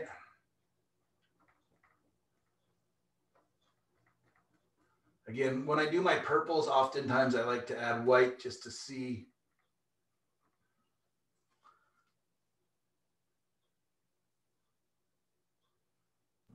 Can you zoom out just a little? Thank you. Yeah. Zoom out and I can lift this up a touch.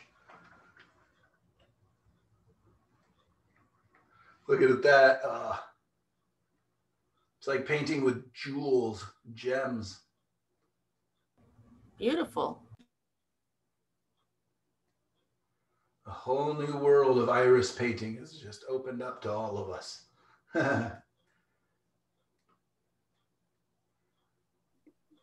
I've used it just in touches in the sky and find it's just a magnificent addition. you know what? That's where I've been using it too. Um, oh, that is just something special. All right. Well, maybe this will be the class where I change my color palette up, up again a little bit. But I wanted to show you guys this experimenting, and I'm always experimenting. I'm always trying new things. I want to get comfortable. I don't want to be, you know, I don't, I, guess saying I'm always experimenting. That's not the case because I want to understand the colors so that I can, when I introduce a new friend and new interesting things are happening, I can figure out how to replicate them.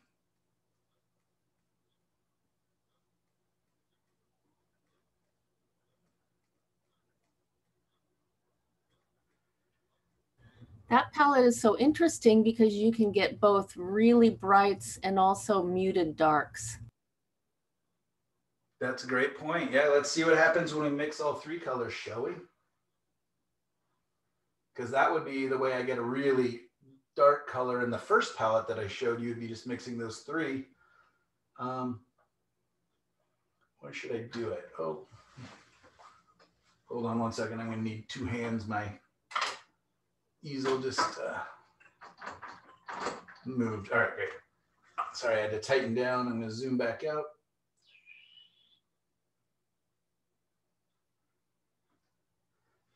And we're gonna mix all three colors and see what happens. I haven't even done that yet, which is interesting. I'll do it right. I'll do it down here.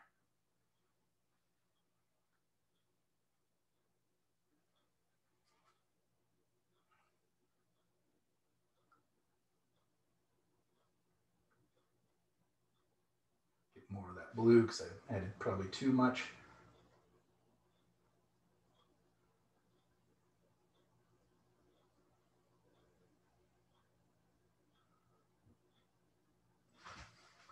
So that's kind of our dark purple over here. And, and I'll take photos of all this with my iPhone and slightly better light and post those onto the page.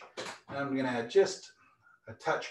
When I add yellow to any mixture to make it dark, I just add a little bit. Basically what I do is try to mix as dark a purple as I can and then add just a touch of yellow. And all that yellow does, just like any other time we mix from across the color wheel, is neutralize it. Yeah, just took it right to a gray. It's not the darkest dark color by any means. So I imagine that's why our computers need black to mix. Let me add a little white to that and see what kind of gray we made. It's almost a Payne's gray. Yeah, it's even, yeah. it's like a navy blue, but again, I could alter that with by adding more blue or more yellow or whatever. So here it's saying it's quite purple. Um, get rid of that white so the camera can see it.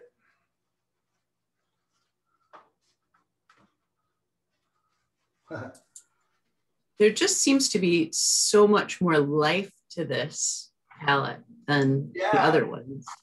Yeah, isn't that weird? Um, I mean, I don't know if weird's the right way to say it, but I think that this could be part of the future of my color palette for sure.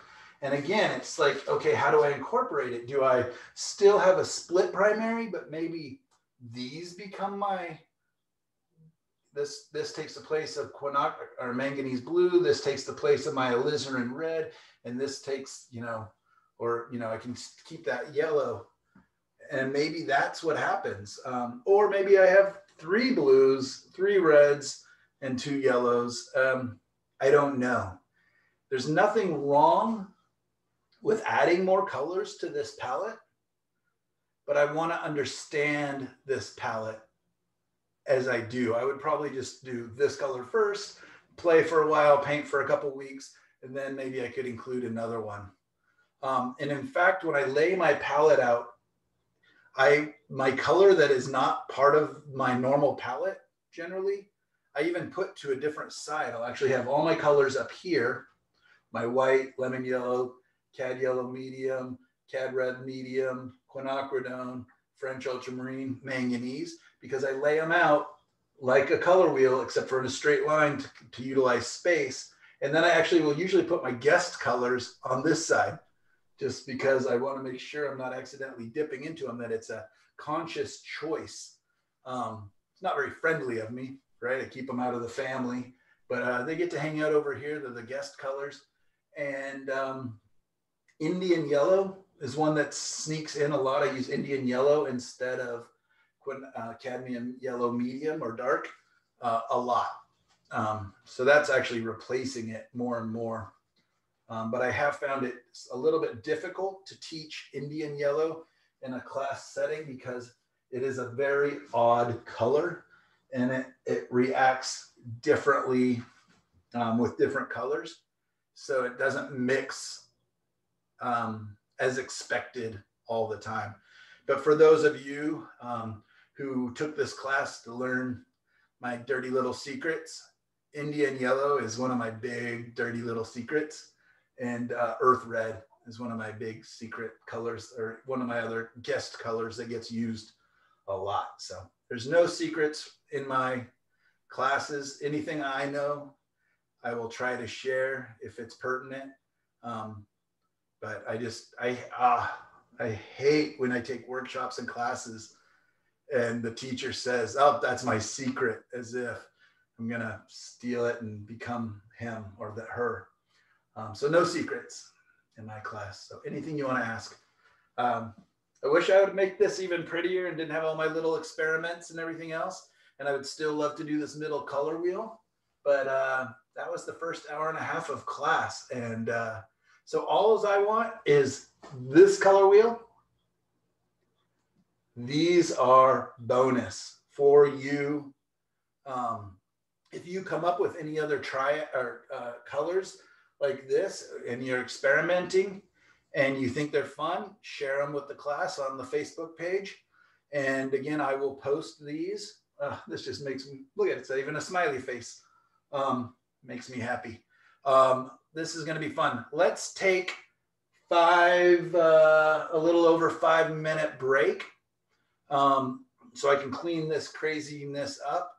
And uh, I'm going to, what I'll be doing is replacing the color wheels with this, which again is just a board, the same thing. I just put blue tape over the top to make five little scenes to paint. Um, my goal is to see if I can do five of them.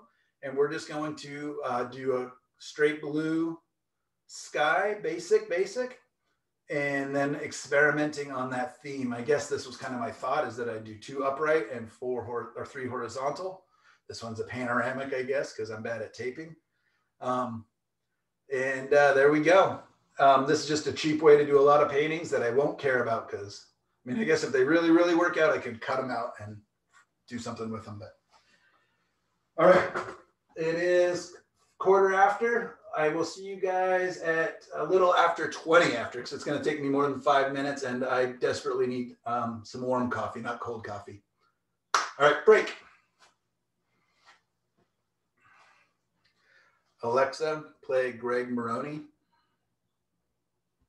Your playlist, Greg Maroney on Amazon Music. Alexa, volume five.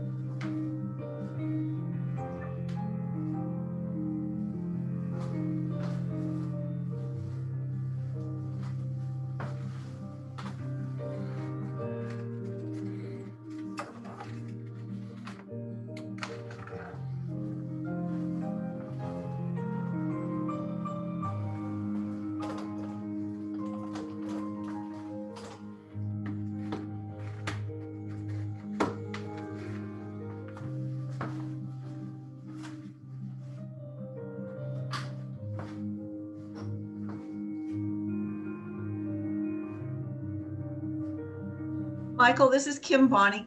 Um, again, did I hear you right saying that we should make little painting surfaces with cardboard for the bulk of the lessons this uh, session?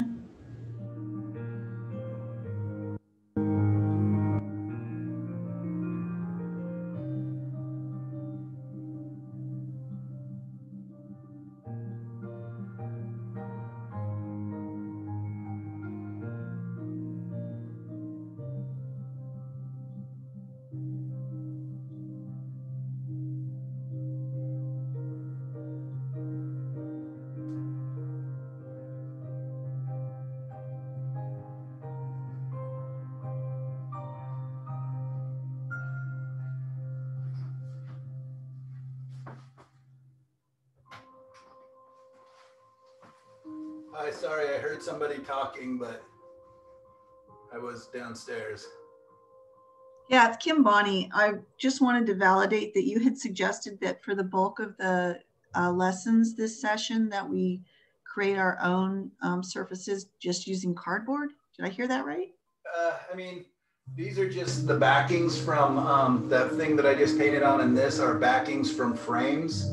You know, when you get frames with glass in them, they have like a piece of cardboard in there.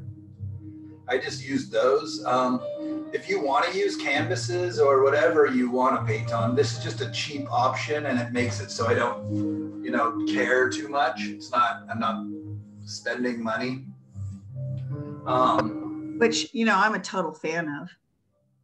yeah, yeah. Especially when you're just experimenting and trying things because inevitably I notice like when I have a, you know, I have 100 sketch pads, but when I pull out my sketch pad where I know every page costs a dollar, I'm a lot more uh, tight than if it's just a, you know, newsprint. I will experiment and play a lot more and just rip it out and throw it away a, a lot more readily. So I, I want you to,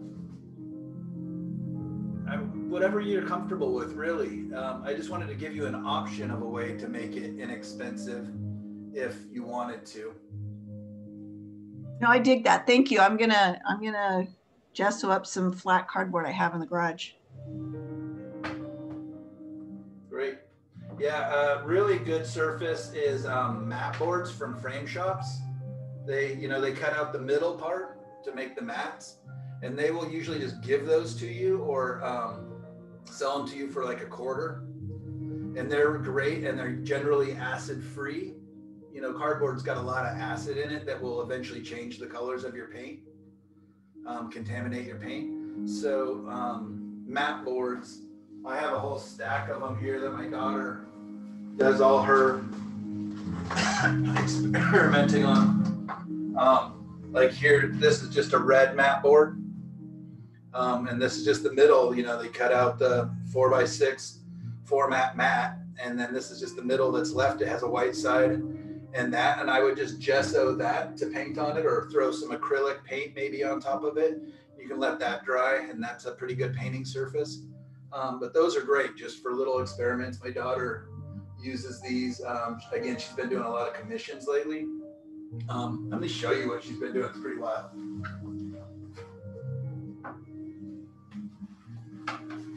Check this out. So she's selling these, and that's actually lavender that she attaches to them. Um, let me see if I can find the other one. Uh,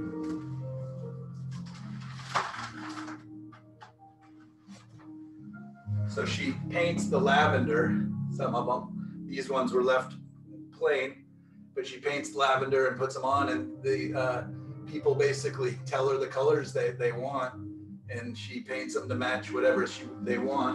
Um, Totally cool. If I was still teaching middle school, I would totally do that.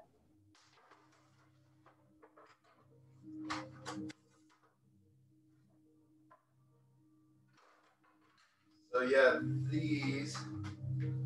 So this one is the inverse. It's she painted the lavender green and the background purple, and it goes together as a set with the purple lavender with the green. So anyway, she does a lot of color little comps, sends those to the client to test, you know, like this one's too purple. They want more of a gray purple. So she's redoing this one.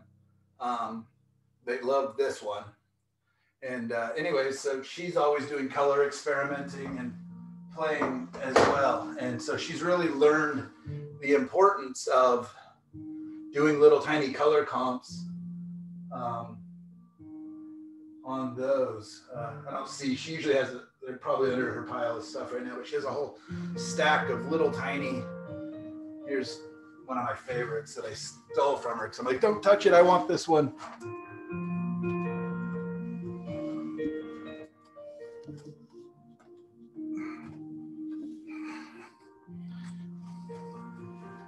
These were two of my favorites that she did again on the mat board. Um, I just love this so very much as an abstract little painting. And this one, just the bluey grays and all of that. Um, but yeah, she has tons and tons of these that she just tries different colors on. What a clever girl. You must be really proud of her. I have to go to the frame store today, as a matter of fact, so I'm going to ask them about their mat leftovers. And if you ever go to um, Oregon Society of Artists, they had a, hundred pounds of it donated to them. And just tell them I sent you. Well, not me. That's not likely. I'm in San Francisco. Okay. Yeah. Then, yeah. Then your frame shop. yeah. Really quickly, you guys. As oh, Alexa, stop. Let me do a quick. Um, I guess I'm just going to assume that everybody's back because we went a little bit long on that break. Um, this is the uh, cattail painting that I did that I was telling you guys about. This has no blue in it. Um, it's Payne's gray as my blue, and there's a lot of color going on. Um, this was a very interesting, I used uh, gold ochre, quinacridone, Payne's gray, and I think I used sap green, just a touch um, in this. And uh, I actually did three of these paintings because I was having so much fun. This is another instance where I laid out two of them side by side and painted on them both back to for, uh, side by side. I sold uh, two of them already. Um, but anyways, a lot of fun and then really nice kind of interesting glow, kind of a misty day. And this is uh, cattails that are about a block from my studio here. Really So- beautiful. Excited for those to come back this year. The beavers, it's a guy's property and he's got a beaver problem and they dam up, they literally clog the pipe that goes under the road and turn his yard into what I think is just unbelievably beautiful little marsh. And he's constantly, he doesn't want to kill the beavers, but he keeps having to destroy the dam. Plus, the water will end up going over the road. Uh, but it's pretty fun. I love because that's part of uh, one of the walk routes that my wife and I take. And I'm always so excited when I see the beavers down there doing their thing and changing the environment. Um, so I never know what's going to grow there year to year. Depends on what's what the beavers have done. Um, I basically took all the colors instead of scraping them off, um, and uh, and just put them kind of as if if you can imagine that it was a color wheel. So it's the yellows, the reds. I pulled the yellow ochre down a little bit because it's kind of a browner color, so it's already been mixed. And then the blues. This is my Payne's gray over here. Um, I'm to pull up really quickly just for my reference the uh, sky that I sent you guys in the plain blue sky. It's on the Facebook page. Um, and if you look closely at it, it, you know, plain blue skies generally are kind of boring to me. I don't paint them very often. Um,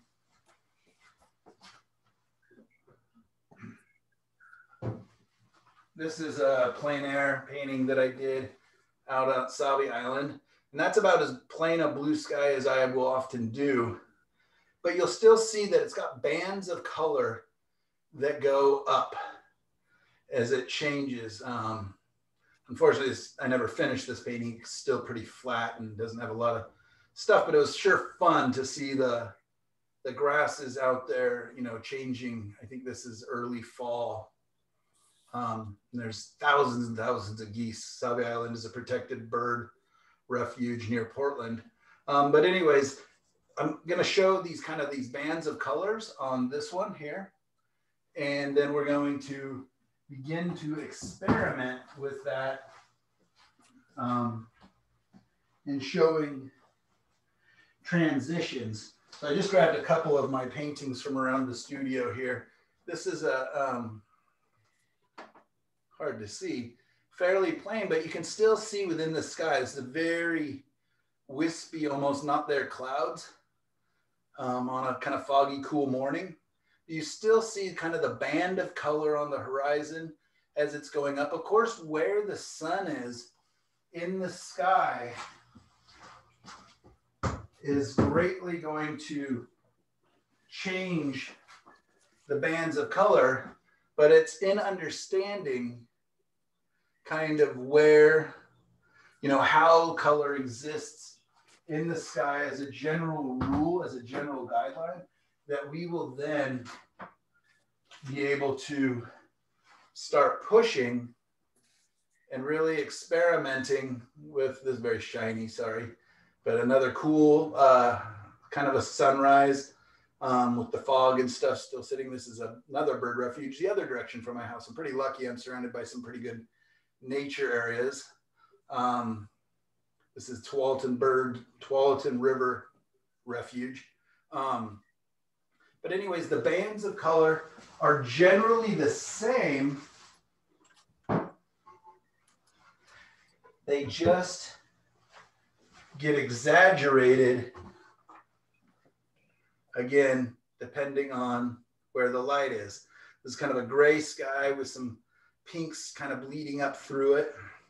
Uh, this one was all about the transition of the gray, cool foreground to the warm sky and the transparent uh, warming leaves.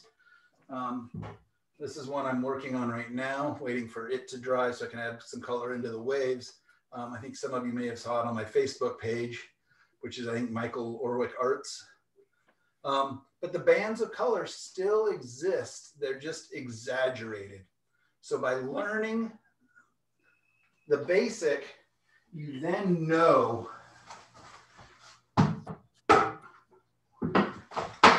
what you're doing, why you're doing it, and you can look for it. Um, see the bands of color, ignore maybe the clouds, you can see kind of the warm going up and then getting back towards a kind of a red, purpley or blue gray as it goes up. So uh, these are kind of like my experiments. This was actually painted using the leftover paint from after a day of painting. I just saw these kind of beautiful purples and thought, man, that deserves to be something as opposed to just being the extra paint being thrown in the garbage. And I really like that. I really like the energy that I attacked it with um, and everything else. Uh, one more. This one's another one kind of in progress and kind of the same feeling. This one's very high drama. I need to figure out what to do in the foreground because that's so boring right now. But anyways, you can kind of see as the colors bend and shift up. So whether it has clouds or it's a clean, pure sky, whether it's a pinker sky, a yellower sky, or a bluer sky, a lot of the same idea exists. I hope that makes sense.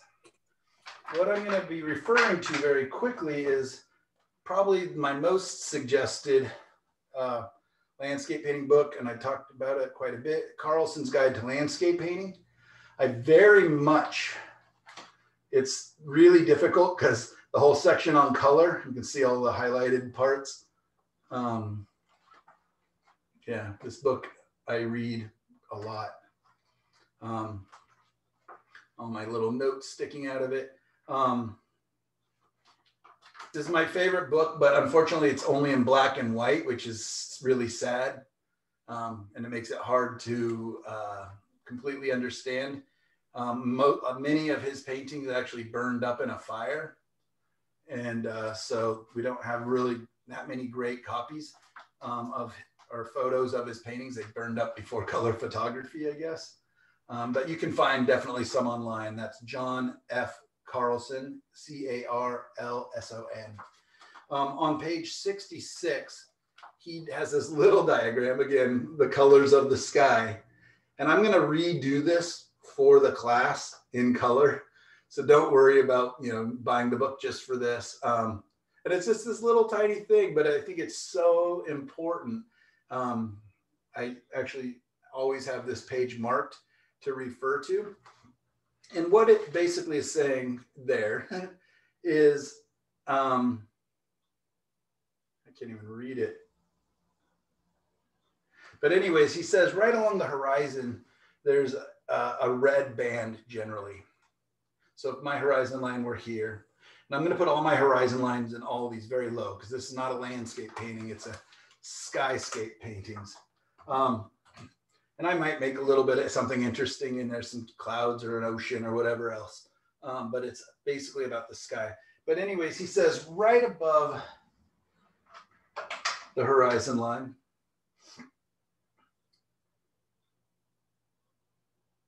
is, and I'm going to exaggerate these colors in the first one, is a violet red.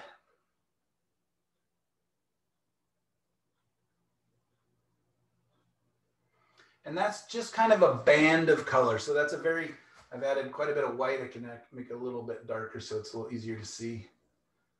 And that's kind of right along the horizon. And what's going on there oftentimes is uh, dust from the earth, pollution from the humans on the earth. Um, and you're looking through a lot more lens of atmosphere. When you start looking up above us, the air is just getting purer and purer and purer, and you're looking through uh, less layers of atmosphere. All right. He then says, right above that, it goes a little bit towards an oranger color. So it begins to warm up comparatively.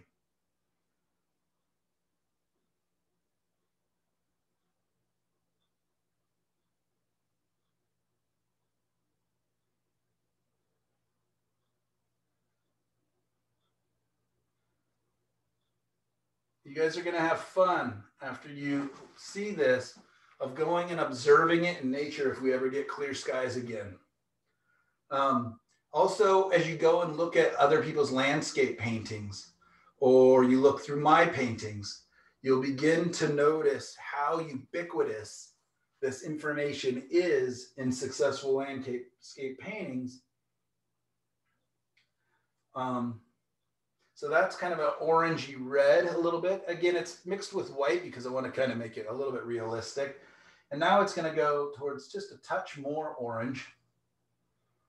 Calls this the orange zone.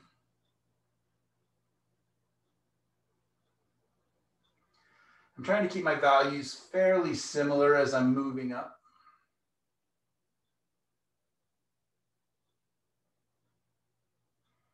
Orange, yellow, zone.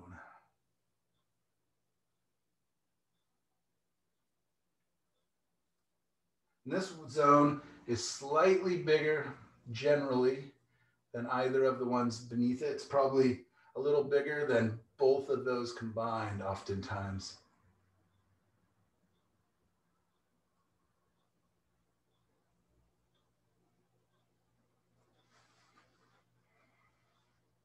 I suppose I should probably zoom that camera in a little bit.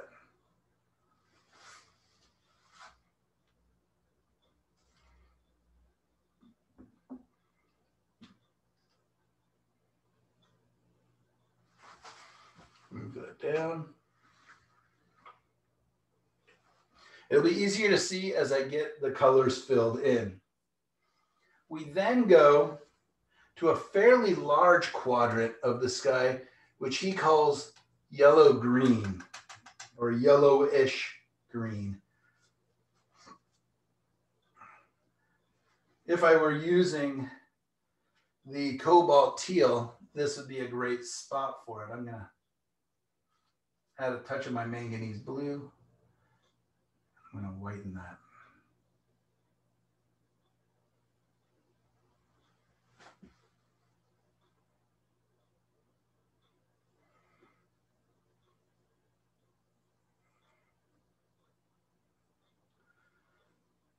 Every time you look at the sky, these versions of these colors are going to be different. So there's no like formula I can teach you that would be useful all the time.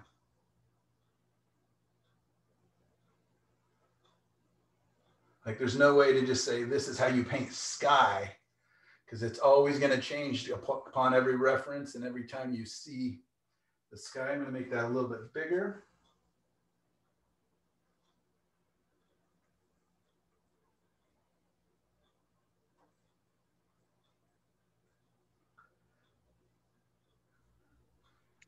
And I'm going to begin to bend it towards blue. Yeah. Michael, is that band maybe yellowish green as big as the violet, orange, and orange yellow bands combined? In theory, it would even be bigger oftentimes, but it will really depend on the sky that you're looking at. Yeah.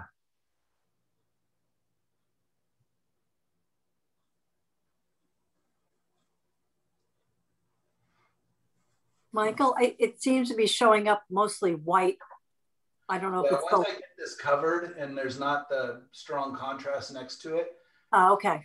able to see it better. And I will take photos of all of this and post it. So you'll be able to refer to it on the Facebook page. We now get up to a yellow, a greenish blue zone. And the cool thing with all this tape is I'll actually be able to put some notes beside it after I remove the tape. Um, a greenish blue zone. So, so instead of a yellowish green zone, it's a blue, greenish blue zone.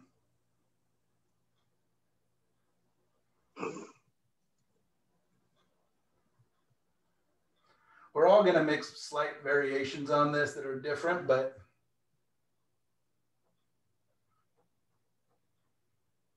and I'll see if I can't find or take a good photo of this picture in the book, even though it's black and white, it'll give you that to refer to.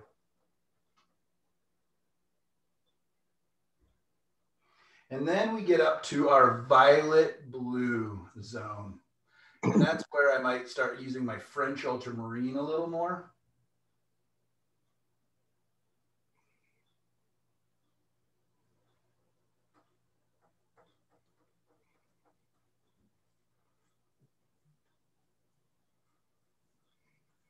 So this blue is a little bit more leaning towards purple.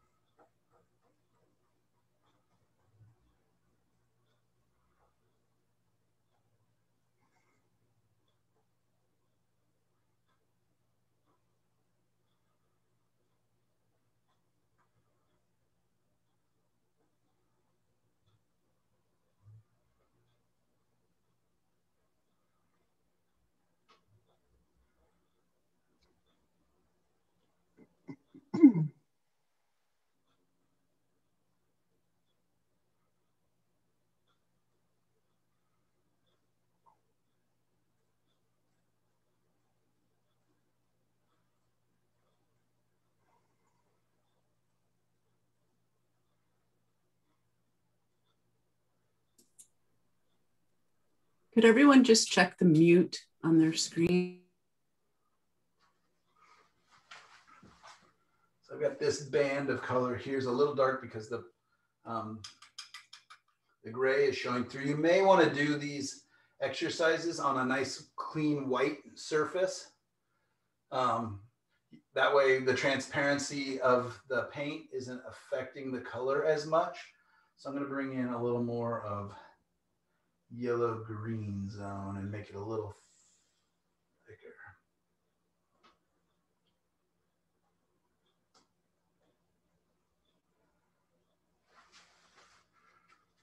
I'm going to bring in my ground here.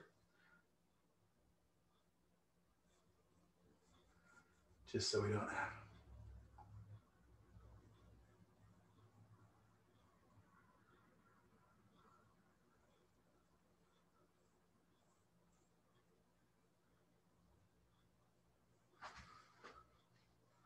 And what color? Let's just make it a nice, simple field. Let's mix up some kind of earthy green here. Michael, did you use your split primary palette for that? I did, yeah. That's the split primary palette, yep.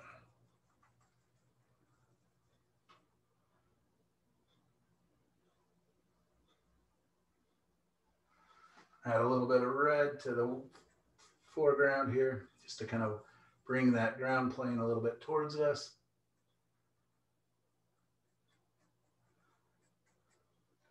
And just for fun, I'll break up. So this uh, magenta version or this um, violet at the bottom is really strong. So it instantly begins to feel kind of like sunset a little bit. So I would probably subdue this if it were a blues, you know, midday. Those um, would actually be less that. I'm just kind of breaking up. So it's got a little interest going on, whatever's going on down here.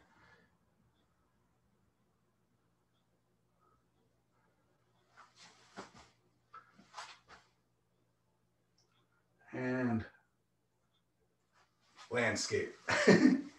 um, so that's, you know, that is the bands of color. I'm going to do, um, or I could do another one um, with making it, this feels a little too sunsetty. So if I were to do another, I, maybe I will focus more on the blues. Uh, could you zoom, could you zoom in real quick because it looks very white and pastel from from sure. the wide shot. Off this overhead light.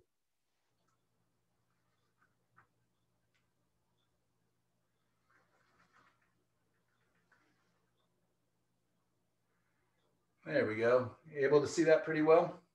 Much better. Okay, yeah. Thanks for saying that. And I'll do that. I'll keep it there on the next one. Um, so you can see that these bands of color are definitely on the warmer side. Um, I'm going to try to do very quickly a, uh, maybe I'll even do it to the side here, a very much blue sky, but it's still going to be influenced a touch by these colors. So I'm going to do a bluer, kind of an almost overtly blue. I posted one of those on the Facebook page as well. I'm going to bring it up just so I have it as a reference. Um, yeah, the very last one I put is very rich. It's much more on the French ultramarine or French marine side. Very, uh, a lot of, um, a lot of, it's very heavy on the violet blue zone. So this zone up here on this one down here will be much larger. Okay. So let's put our let's get our horizon line in.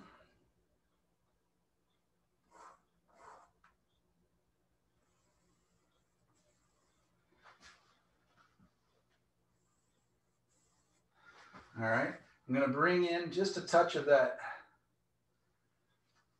so I can see where you're at here. So I'm to mix my colors just down here a little bit. So this is the color that I used pre in the previous painting as my um, violet red. But what I'm to do is I'm to add quite a bit of white to that.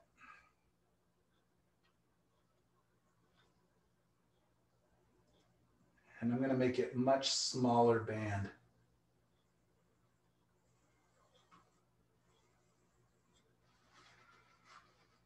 Then we get to our orangey red. So I'll pull down a little bit of that, put it beside there.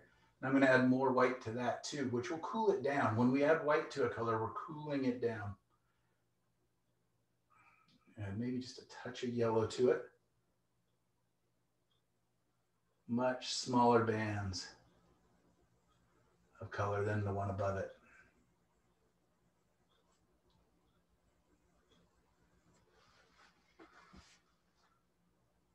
To soften that transition.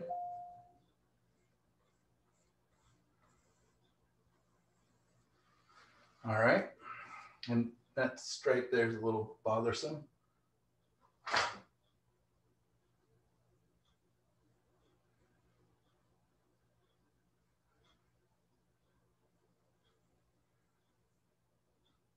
So yeah, as I do this, I am going to suggest that you probably paint your skies on white to start with.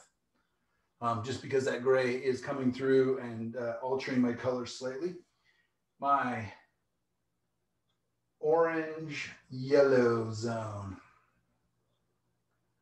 Same thing, bringing it down so you can see it. I'm gonna add quite a bit of white. I'm gonna cool that down because again, this is just midday that I'm looking for, or, you know, at least not sunset.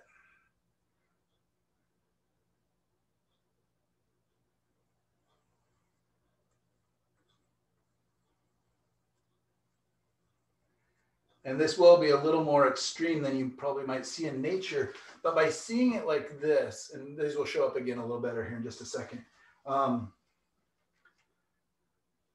you uh, will be able to see it in nature. So you can kind of, and oftentimes in painting, we exaggerate. So my yellow green, I've got kind of a turquoise. I'm to add just a touch of yellow to that, maybe even a little more white.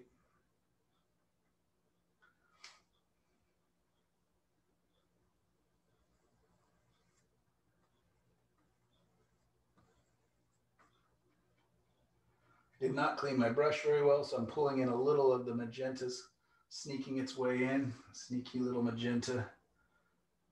Oops, too much. All right, so I need to clean my brush, and I can see the magenta right on the brush. So that was that was bad of me. That was just straight lazy.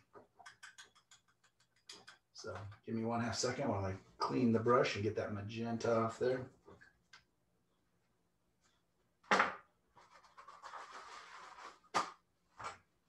All right, I'm to remix that color because so a little of my quinacridone, touch of my cool light yellow, and a lot of white.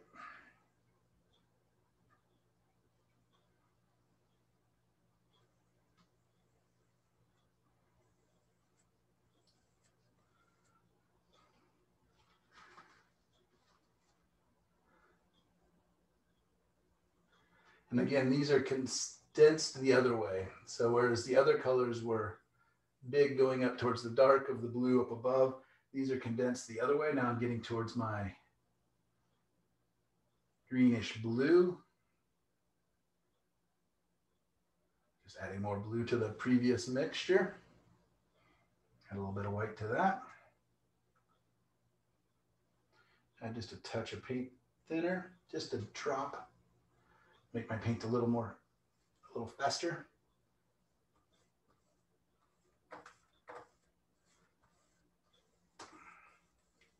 I'm gonna darken that, it's a little too light.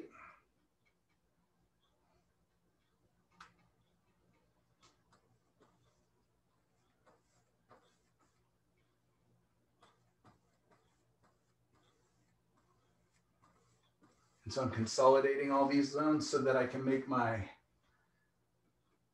big violet blue zone much bigger. And have this violet blue who makes a touch of the quinacridone. You guys seeing that? Yeah. Big jump in color, right? So I'm going to start at the top. It's almost the painter's blue, painter's take blue.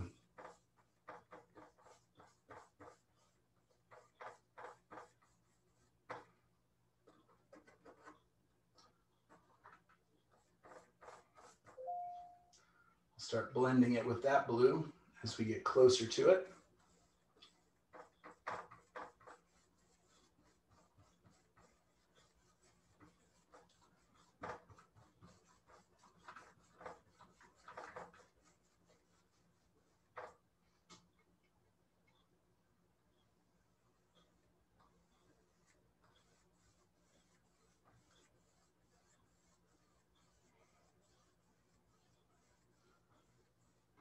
So when you're out looking at your scene or when you're looking at your references, really observe what's happening at the top of the sky, what's happening at the bottom, where what's happening to the colors as they meet.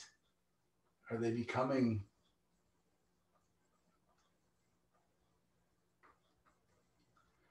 Are they subtle? Are they strong? Are the transitions crisp? Are they very soft transitions?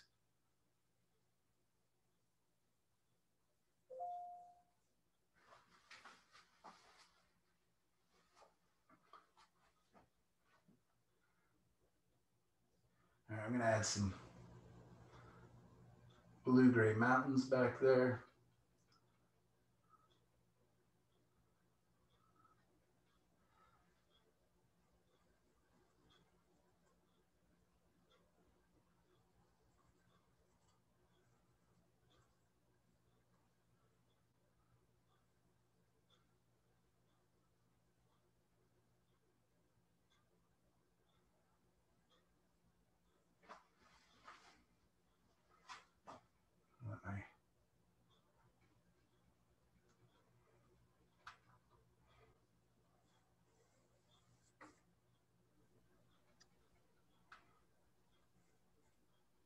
Michael, is your horizon line about three quarters down on the page?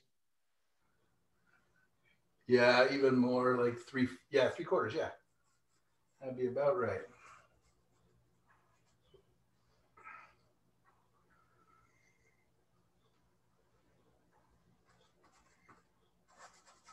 And I'm just kind of putting random foreground color.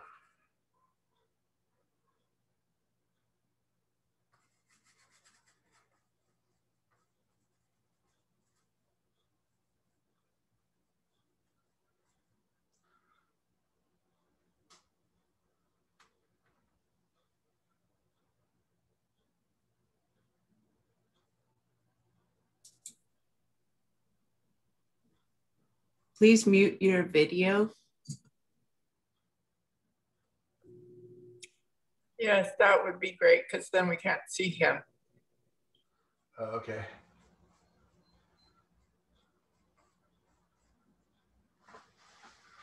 All right, mountains. And uh, you can see even by pushing this band is so much less extreme than that band, but it still has kind of a sunset feel. So in truth, I would probably even want to make that even more subtle. It can go all the way to almost blue with just slightly a bend towards pink. And I want you to look for that again when we get some clearer skies um, and just uh, observe that um, and experiment with that. But, you know, so I could, maybe what I'll do, let's see if I can get a, I have a clean brush left in the house. I don't think I've ever used so many paintbrushes in one day. Um, I'm gonna bring some of this blue that I have here and let's bring it down and infuse it with that beautiful pink horizon so that the horizon line isn't so sunsetty. We want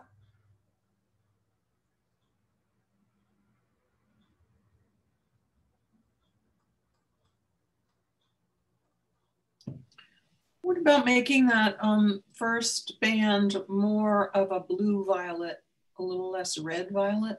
Yeah, exactly. And that's what you would do as you observe. I'm playing these up for effect, you know, just to kind of show them to you. But you will even see in the references that I have that they're much more on the blue. Yeah, exactly. Great, great observation. Great idea.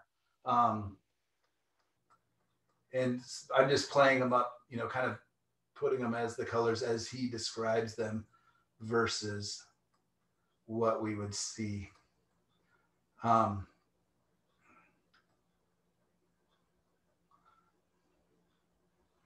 let's add a little.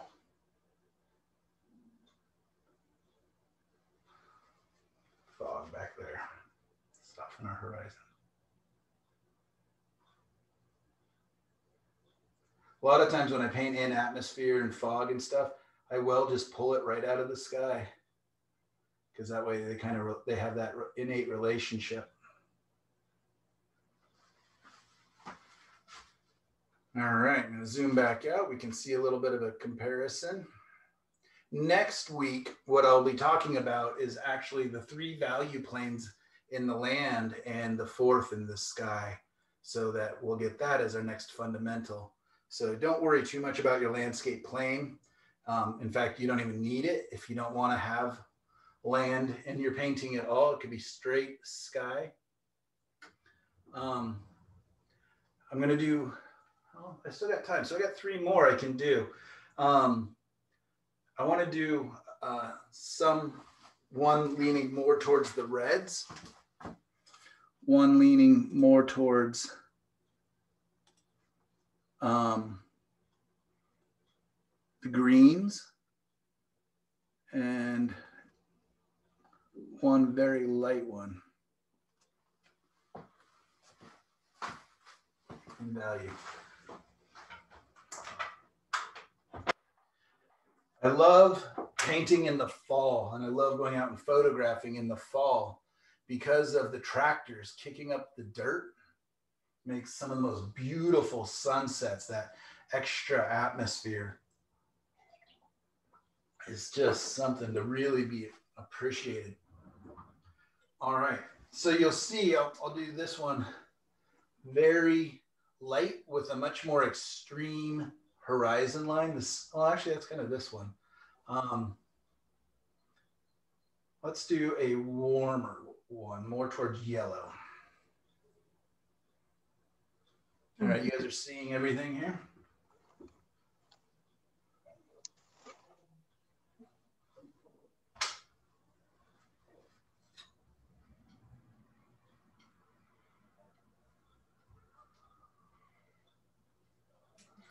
And if I were looking at my references, it's not like I would always use the same amount. They don't have the same amount of bands. Um, you know, you consolidate, but by knowing this and kind of knowing what, at least what I should be seeing versus maybe even what I really am seeing, it can be really helpful.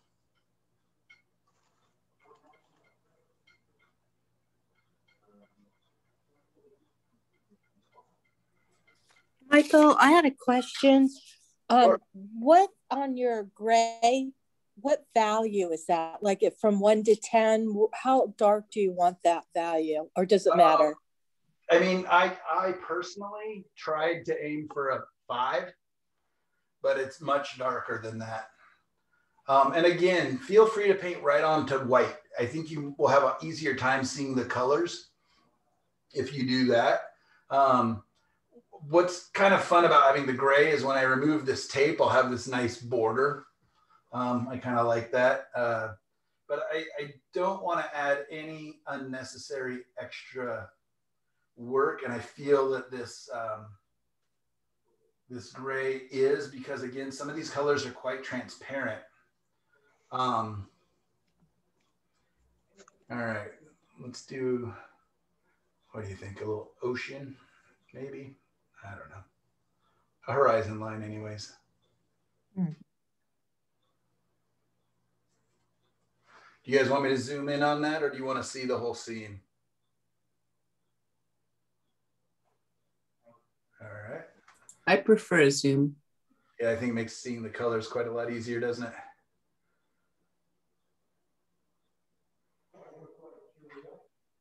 Uh, yeah, there, now we can see color. So I'm not really using a reference for this one. I'm just going to think kind of the same thing. I've got, I got my, my violet. I'm going to go towards a red, but I'm going to warm this red up.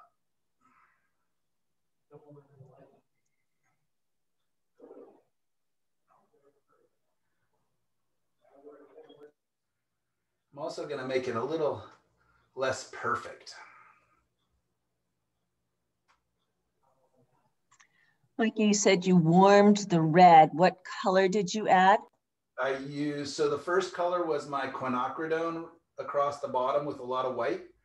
And then I just added the warmer red, the cadmium red to that. And we'll see if that works. I may have to magenta? Uh, you know what? I'm not positive because I don't usually have so many colors on my palette. Um, it sure may have been because it's quite cool. I mean, Unfortunately, I'm not really positive. Just grab back into it to. All right, now we get up to our orange I'm gonna get a little warmer even again, or at least a little more orangey.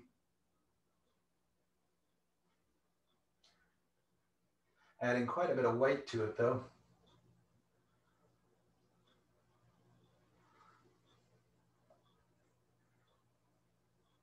So this is going to be much more blatant on the sunset side.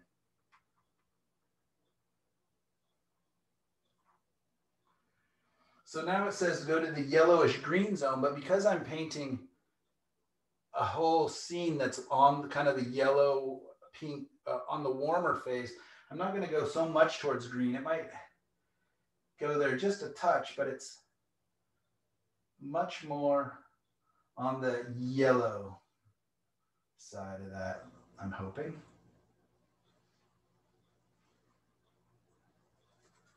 Yeah. So again, it's just comparative to the color underneath, the color that it's beside.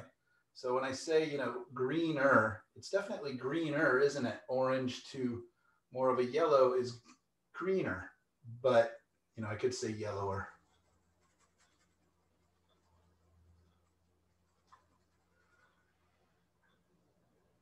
And then it wants me to go slightly more towards the blue, but again, it's a variation on that because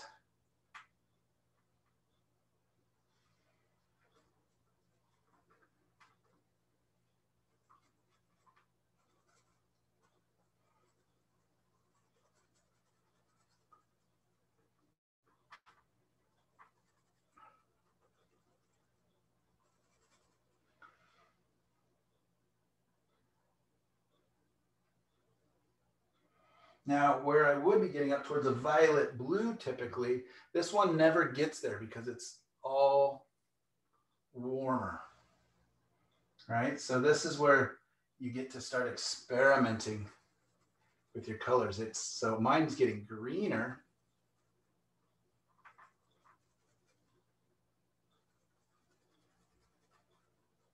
which would be considered bluer.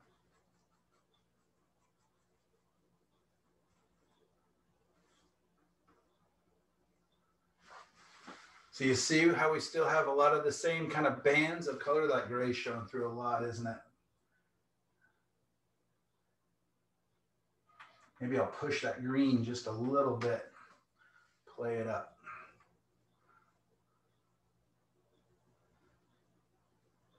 Are you guys seeing a blinking symbol right in the middle of the screen? Yes. Sorry about that. I don't know what that is about. Give me one second. I'm going to quickly go through my options here. What does that mean? I wonder. Do you have it on a steady, uh, steady shot? What is steady shot? What do you mean? Where it doesn't shake, um, where it automatically holds it more steady. It looks like it's got a shaking hand. Yeah. You stopped filming? Oh, did it go away? No, it's still there, but could it mean that you're not filming? Sure, hope that's not the case. It says recording up in the corner. Okay, great.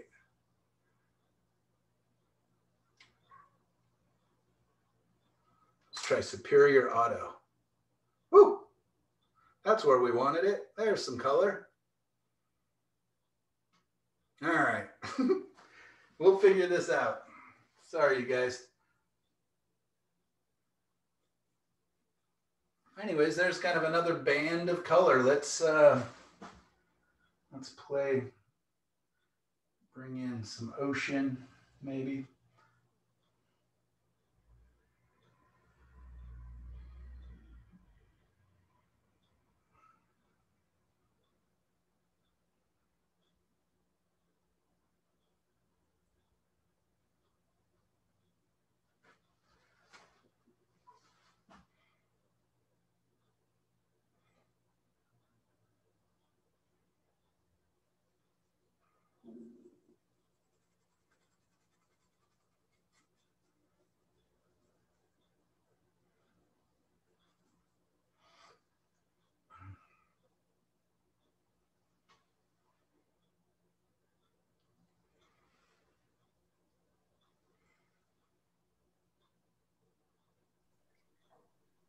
Michael, is your ocean in the back sort of a muted, almost Payne's gray next to the pink?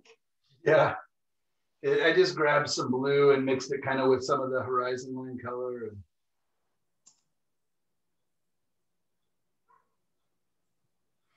Let's see if I can add some colorful waves on there real quick. Just use a little palette knife trick.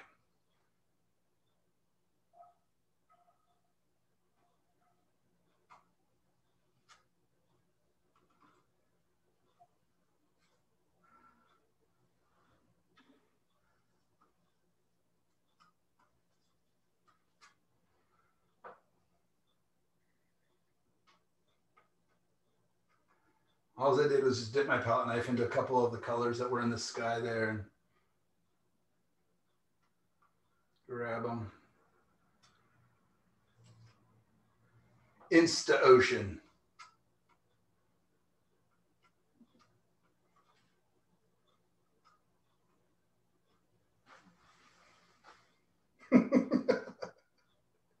oh, silly.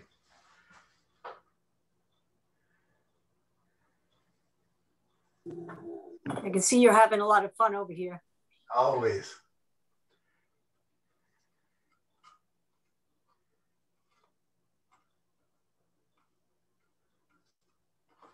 Yeah, I don't know if it's a good thing or a bad thing when I just make myself laugh when I'm painting, but you know, it's there's so much delight when you don't care. I mean, I care, of course, because you guys are watching and learning, but it's you know it reminds me of being a little kid and watching Bob Ross, right? I mean, it's kind of like happy accidents. Let's just kind of see what happens and uh, have fun and push some I love it. around and test some stuff. And uh, I guess the main thing I want you to show you is that it's not precious. It's just you know, have some fun. Let's try and experiment and. Uh,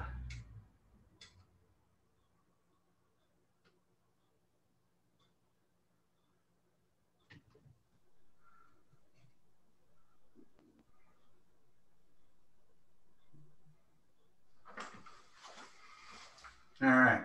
I don't know what this super bright red color is there. I don't know if that's just from the light or what's going on. But anyways, there we go. We got kind of a yellow or greener sky. All right. Somebody tell me a color. Purple? What's that? Nighttime? Nighttime. All right. So we're going to do it as if the sun has set quite some time ago.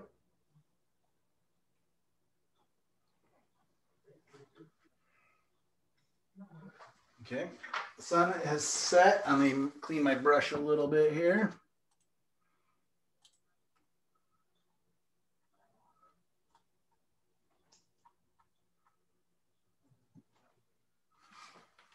So we still have a tiny band of color. All right, let's throw in our magenta horizon line.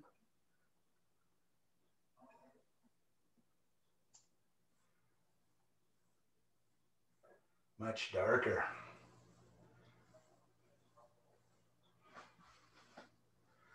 All right, now I'm going to take that. Again, I'm still kind of paying attention up to the colors, saying towards my orange red zone. So I'm gonna warm that up just a touch, but it's still quite dark, maybe a little more white than I have. We'll see.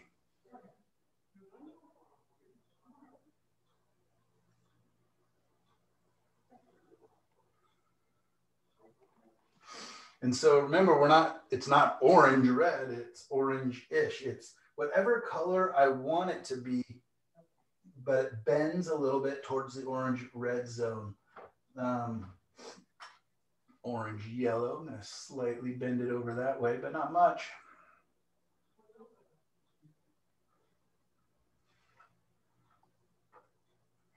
And what this does is it creates a transition, this kind of yellow band above these reddish bands, in theory, is kind of creating a transition to get towards those blues.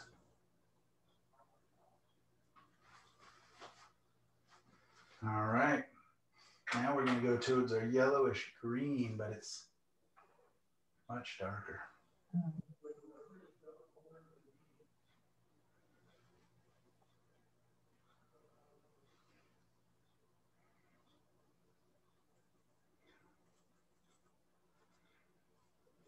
Never been a big fan of painting night scenes black skies.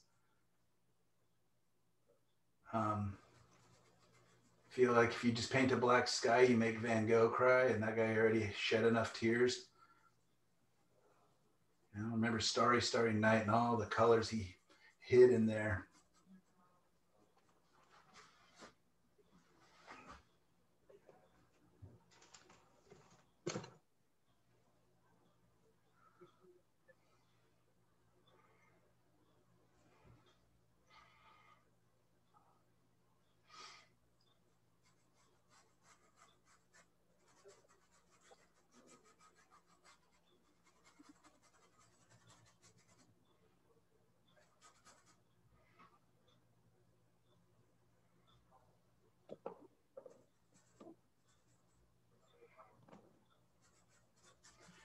Did add a little bit of the Payne's gray into this, but I could make my dark any other any way. So it's the French ultramarine plus Payne's gray plus a touch of my manganese blue.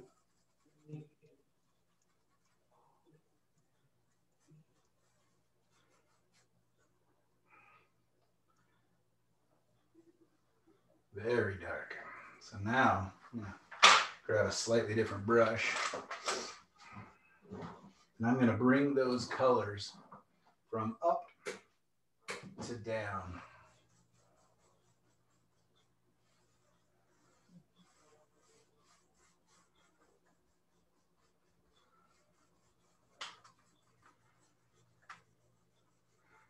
I'm basically consolidating and bringing the bands of color closer together.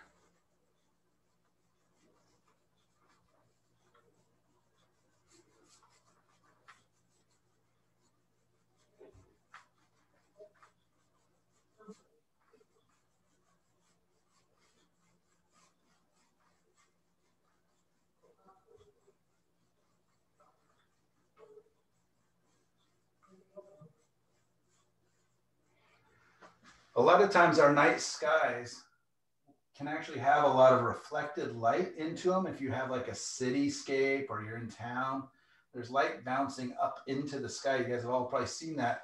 When you look out at night, all of a sudden the sky looks kind of orangish or other things. So that's something to be aware of. Hmm.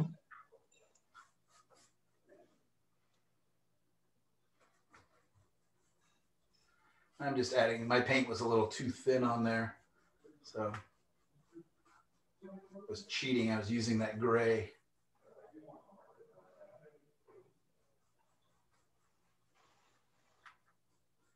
I'm using a crappy shop brush here to blend and it's dropping hairs like crazy. So I'll spend the uh, my after class cleaning my 100 paintbrushes I've used and uh, picking hairs out of this thing. But uh, small price to pay for all the fun we're having.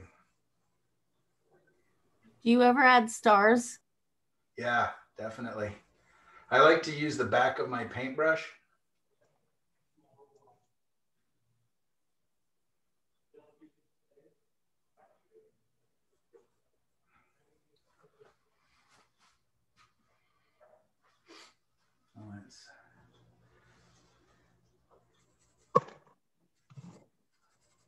Ooh, very dark.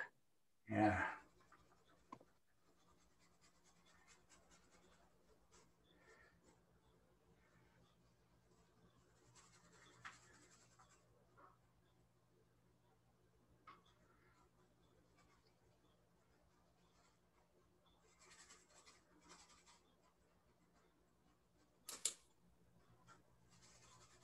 Would you please mute your mic? I can't see the painting anymore. Sorry to keep asking. Yeah, if you just always have it muted and then press the space bar to talk, that's generally seems to be the best as far as that way you don't have to try to remember. So Some trees there, I guess. I don't know. It looks like maybe there's a phone that is open. I see Kim Catalina on two things, and I'm not to point out a name or anything, but um, it looks like that's the only one that's not muted. Aha. Oh, I'm sorry about that. Easy to not realize for sure. Yeah, my good big example is I was in a meeting with a whole bunch of teachers and we were actually talking about how to use Zoom. One of the guys got up, walked off, you know, away, like I guess he had learned everything he needed to learn. And of course, then his dog just started barking, kind of an incessant long bark. So every time it barked, it took over the scene and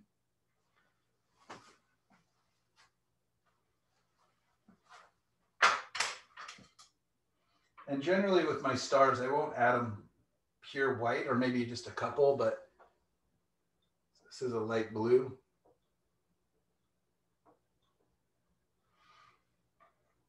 Maybe some pink.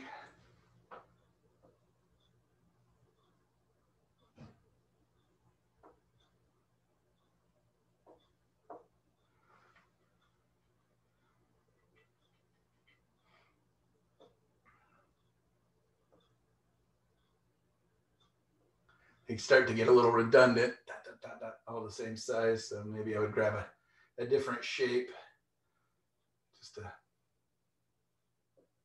get them. I can actually make them brighter further away from the horizon line. Less, less light pollution down there or up there.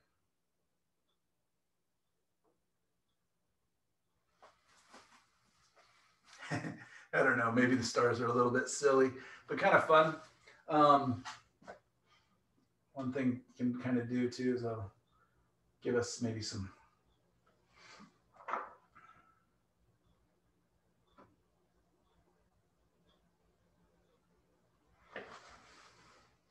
little band of light back there. Maybe there's a whole city down there or something. I don't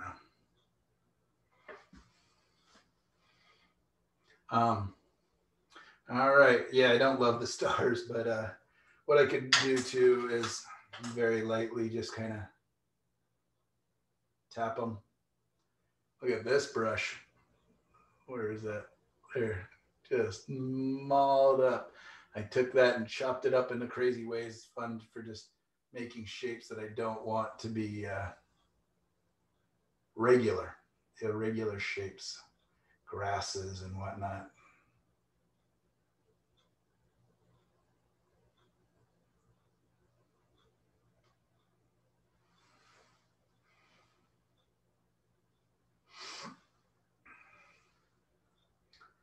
Um, all right. One more color for our final one. We got a long band of color here. And then actually I have this one I want to bring in some clouds. So I'm going to do green sky.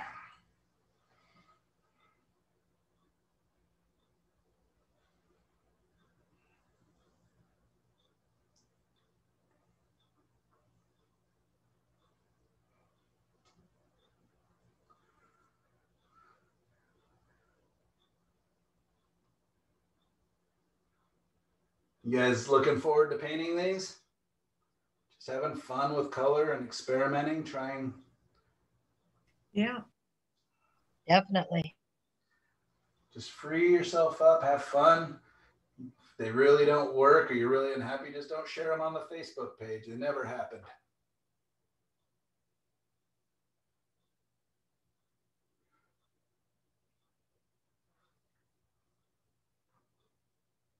Just add a little bit of paint thinner to speed up the paint here a little bit.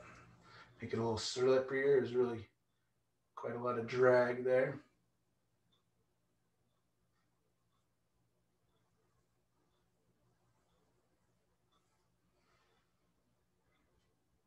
And I'm going to go ahead and experiment with that crazy manganese hue.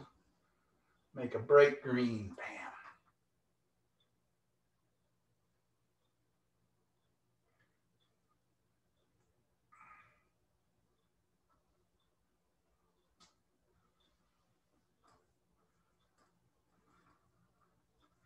Turquoise sky.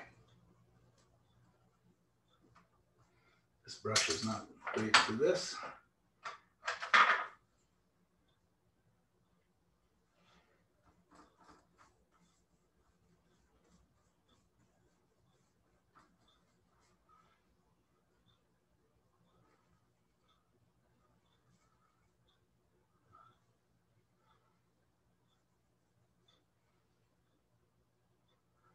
So I put it down, it's not the color I want.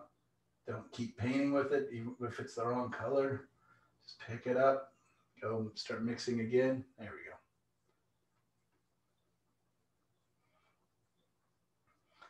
Seems like whenever I paint green skies, because I'm not afraid to, I actually like green skies. They make pink clouds look really nice. Um, people always comment that the only time they ever see green skies is tornadoes. I've never seen a tornado, so I guess I'm not um,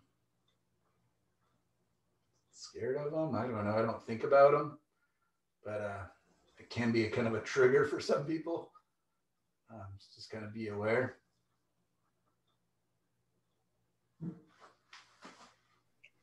When I lived in Tennessee, I saw my first green sky and we had a horrific tornado. All right. So yeah, you maybe don't want to paint um, a green sky. if it brings back scary memories. Um, it's kind of a turquoise sky, turquoisey green. Um, I'm gonna paint a purple band underneath it just because I want to see what it looks like.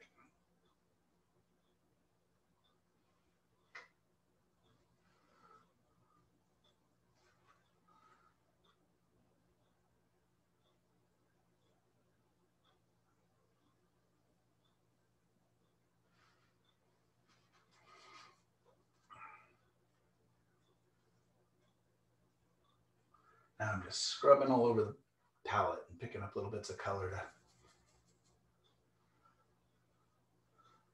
see what color I end up with.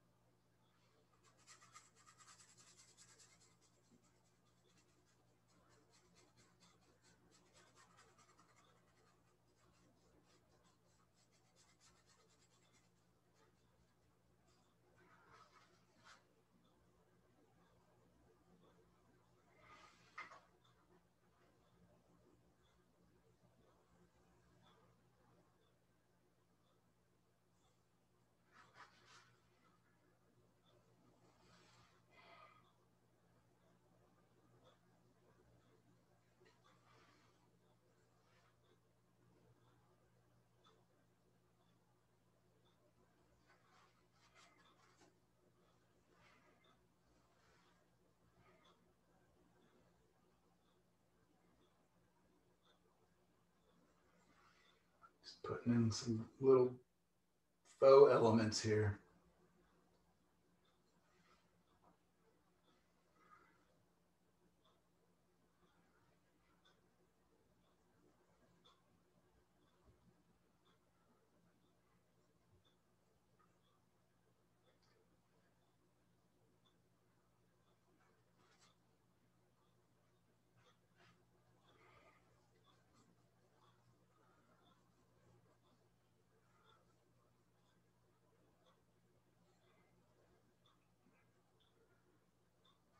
All right, so we have our base skies. I'm to zoom back out.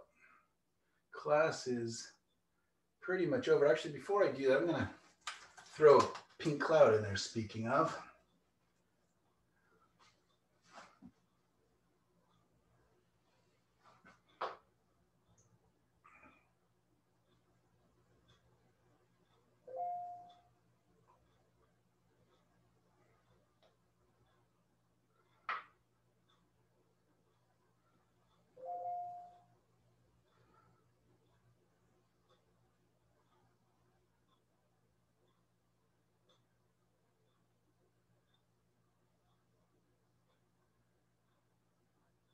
Oops, I'm totally blocking your view. I apologize, you guys.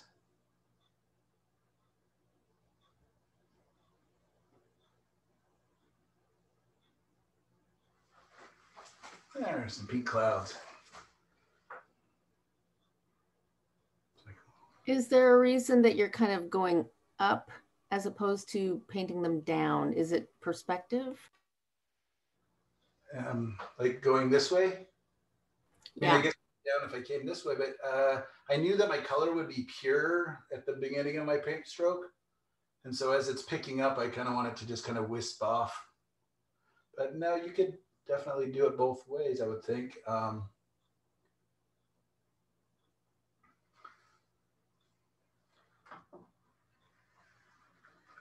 night sky.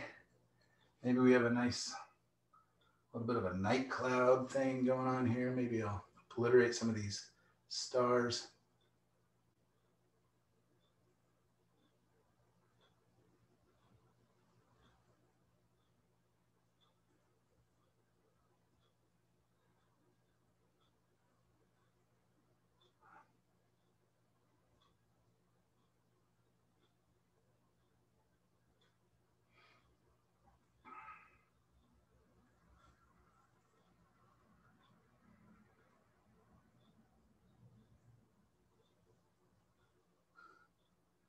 Yes, don't know if you guys noticed how crazy this paintbrush is. It's just this really long um, bristles and just fun to see what happens with it. It's um, some kind of an Egbert craziness.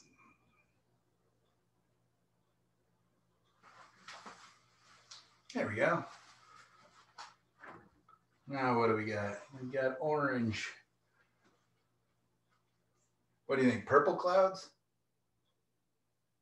Blue clouds, white clouds, yellow clouds, yellow clouds. Let's put yellow on yellow, see what happens.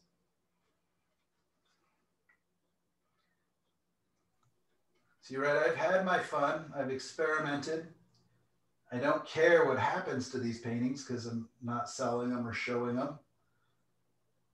So now I can experiment on them guilt free.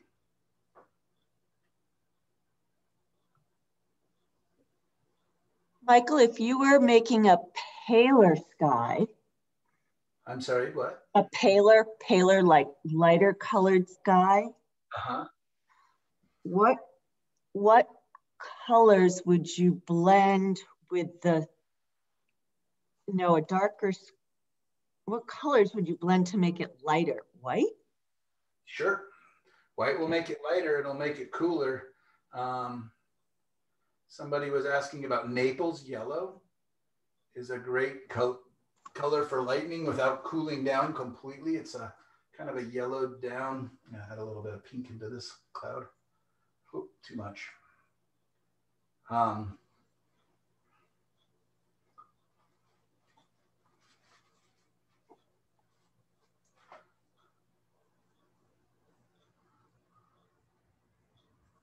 Um, yeah, I mean, I would kind of experiment and see.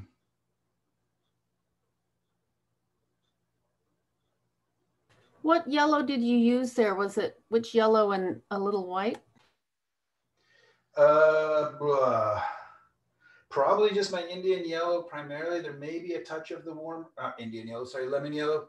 There may be a touch of the other one in there, um, but I'm not positive. Again, my palette is hard to know what colors I'm still using because I'm just drawing, grabbing from my mixes now. Um, so I don't necessarily always know what I'm grabbing. And that's why uh, I, I, get asked a lot to teach uh, painting color formulas. Um, I remember a student very getting upset at me because I wouldn't tell them how to paint the blue or the ocean color of Oregon Sea. And I knew what they meant. You know, it's not turquoise, it's not a bright, warm ocean, it's dark and foreboding, but there's no color of the sea because depends on are you close to the sand are you far from the sand are you in term you know tumulus water? Is it evening? Is it morning? Is it where's the light hitting it from? So uh, I, I try not to teach formulas. I just would rather teach you how to ask questions of your artwork, of yourself, and how to um, come up with possible answers. All right, that leaves our two blue guys. I'm gonna leave this one because I need one base painting just to refer to. So that gets me up to this crazy guy. And I think that he deserves a nice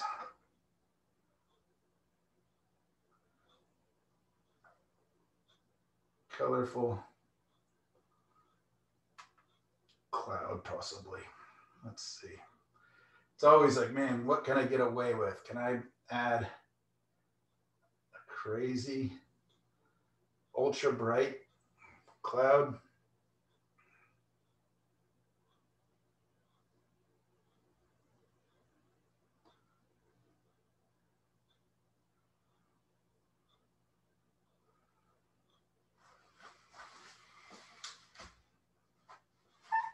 Can the painting get away with that? I don't know.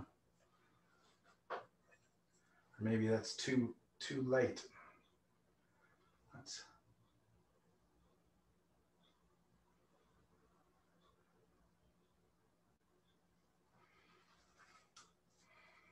Now it's too dark. Back and forth we go. And what if I just drag my brush across it possibly? Clean my brush mostly, it's still got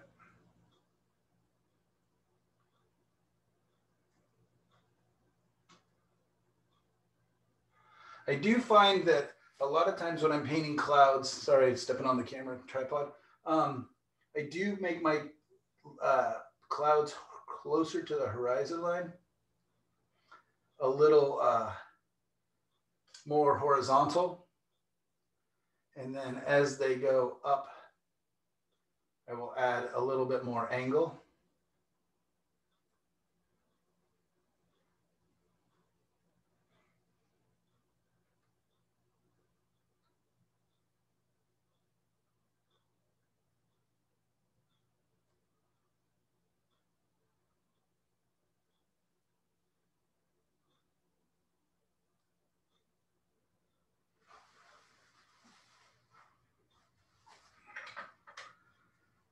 I am excited, you guys, to see what you come up with. Have fun. You know, make some of them on the more realistic side, make some of them on the more crazy side. The only minimum that I'm asking is one reference sky, somewhat like this, so that you have it, and the color wheel with the split, primaries. All of the other stuff is bonus. You get to sit in the front of the class next week, you get a gold star, and you get invited to the pizza party at the end of the year. Um, but otherwise, do as much or as little as you feel like. This, this is for you. I don't want to add pressure. In fact, I'm hoping that what I just showed you takes pressure off to just see, oh, he's just having fun. He's just, oh, sorry, not even showing you what I'm painting. He's just experimenting. Um, I mean, that's more fun than it was without the pink clouds. I had no idea if they were going to work.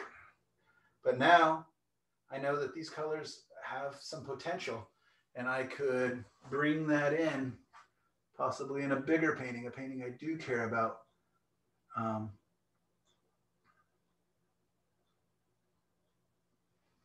Do you generally do this kind of experimenting on your own, or do you find um, it just um, beneficial to do it in a class and create and have fun that way? Um, I'm gonna try not to unplug the camera and try not to make you guys seasick, but I'm gonna quickly scan around my studio and just show you guys what's going on in there. Oops, I need to zoom back out, sorry.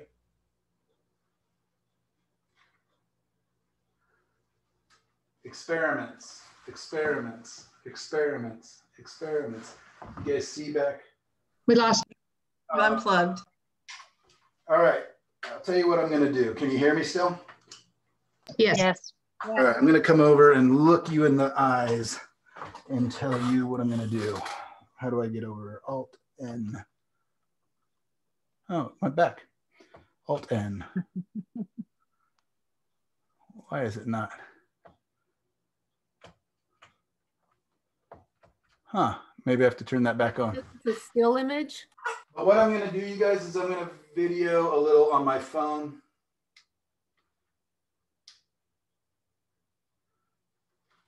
And uh, I will show you my piles and stacks and stacks and stacks of playing and experiments. Um, and uh, if you were in my last class, I told you guys about the fact that at the beginning uh, or after Christmas, kind of that dead time in between Christmas and New Year's, especially when you're COVIDing, is um, I painted over like 40 paintings, um, sanded them down, painted over them, put another 40 in boxes that are going to need more heavy duty sanding. And I threw, well, gave away um, to other people just to paint over, not probably another 40 paintings. Um, and so, yeah, I'm always experimenting, always playing. It's um, this, what I was just doing there is my happy place. It's super fun for me. And, you know, all day long, I will be painting on commissions and projects for galleries and everything else. And it's taxing.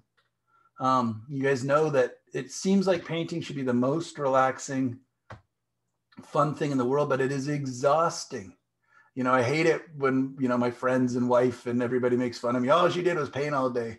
Yeah, but you're thinking every brushstroke is a thought. It's like trying to speak a foreign language with somebody. It's so tiring.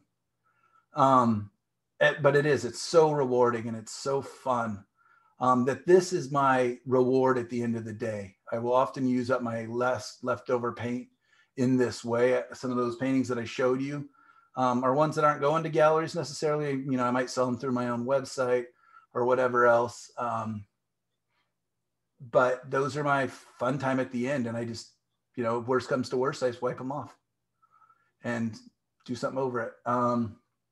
So yeah, I'm always playing. I'm always experimenting. I'm always what ifing. And I'm constantly looking at other people's work.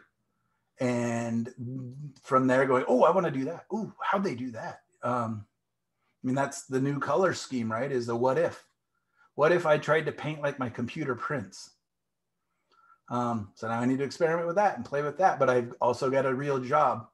You know, my boss is kind of an ass. He'd get angry if I just keep playing all the time. So I got to do my job and then I can have my time off and uh, um, play and experiment. So I love it. I'm sorry for the bad word. Um, you guys are awesome. Please, uh, any questions? I will do photos of these so that we can give them better color. I'll post those on the Facebook, the color ski, the color wheels and the little landscapes I just did. I will do a quick video if you care, a little studio tour, and I won't even clean up because it is straight chaos. I'm, I'm tripping over stuff right now between my daughters and my projects we've been working on. Um, and that's it. I will be looking for all of you guys on the Facebook page. Um, does that, yeah, everybody has my email. Feel free to shoot me an email too. Um, any questions and um, yeah, anything else, you guys? Anybody have any wise parting words? I don't have any right now. All right, awesome, you guys. This was fun. I hope you had a great time. And I really look forward to seeing you next week and look for the recording in a couple hours. Thank, Thank you so you. much. Thanks a million. Bye. Thank you.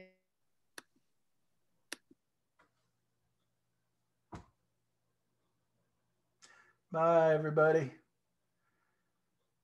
All right. That was fun, you guys. Thank you. Take care.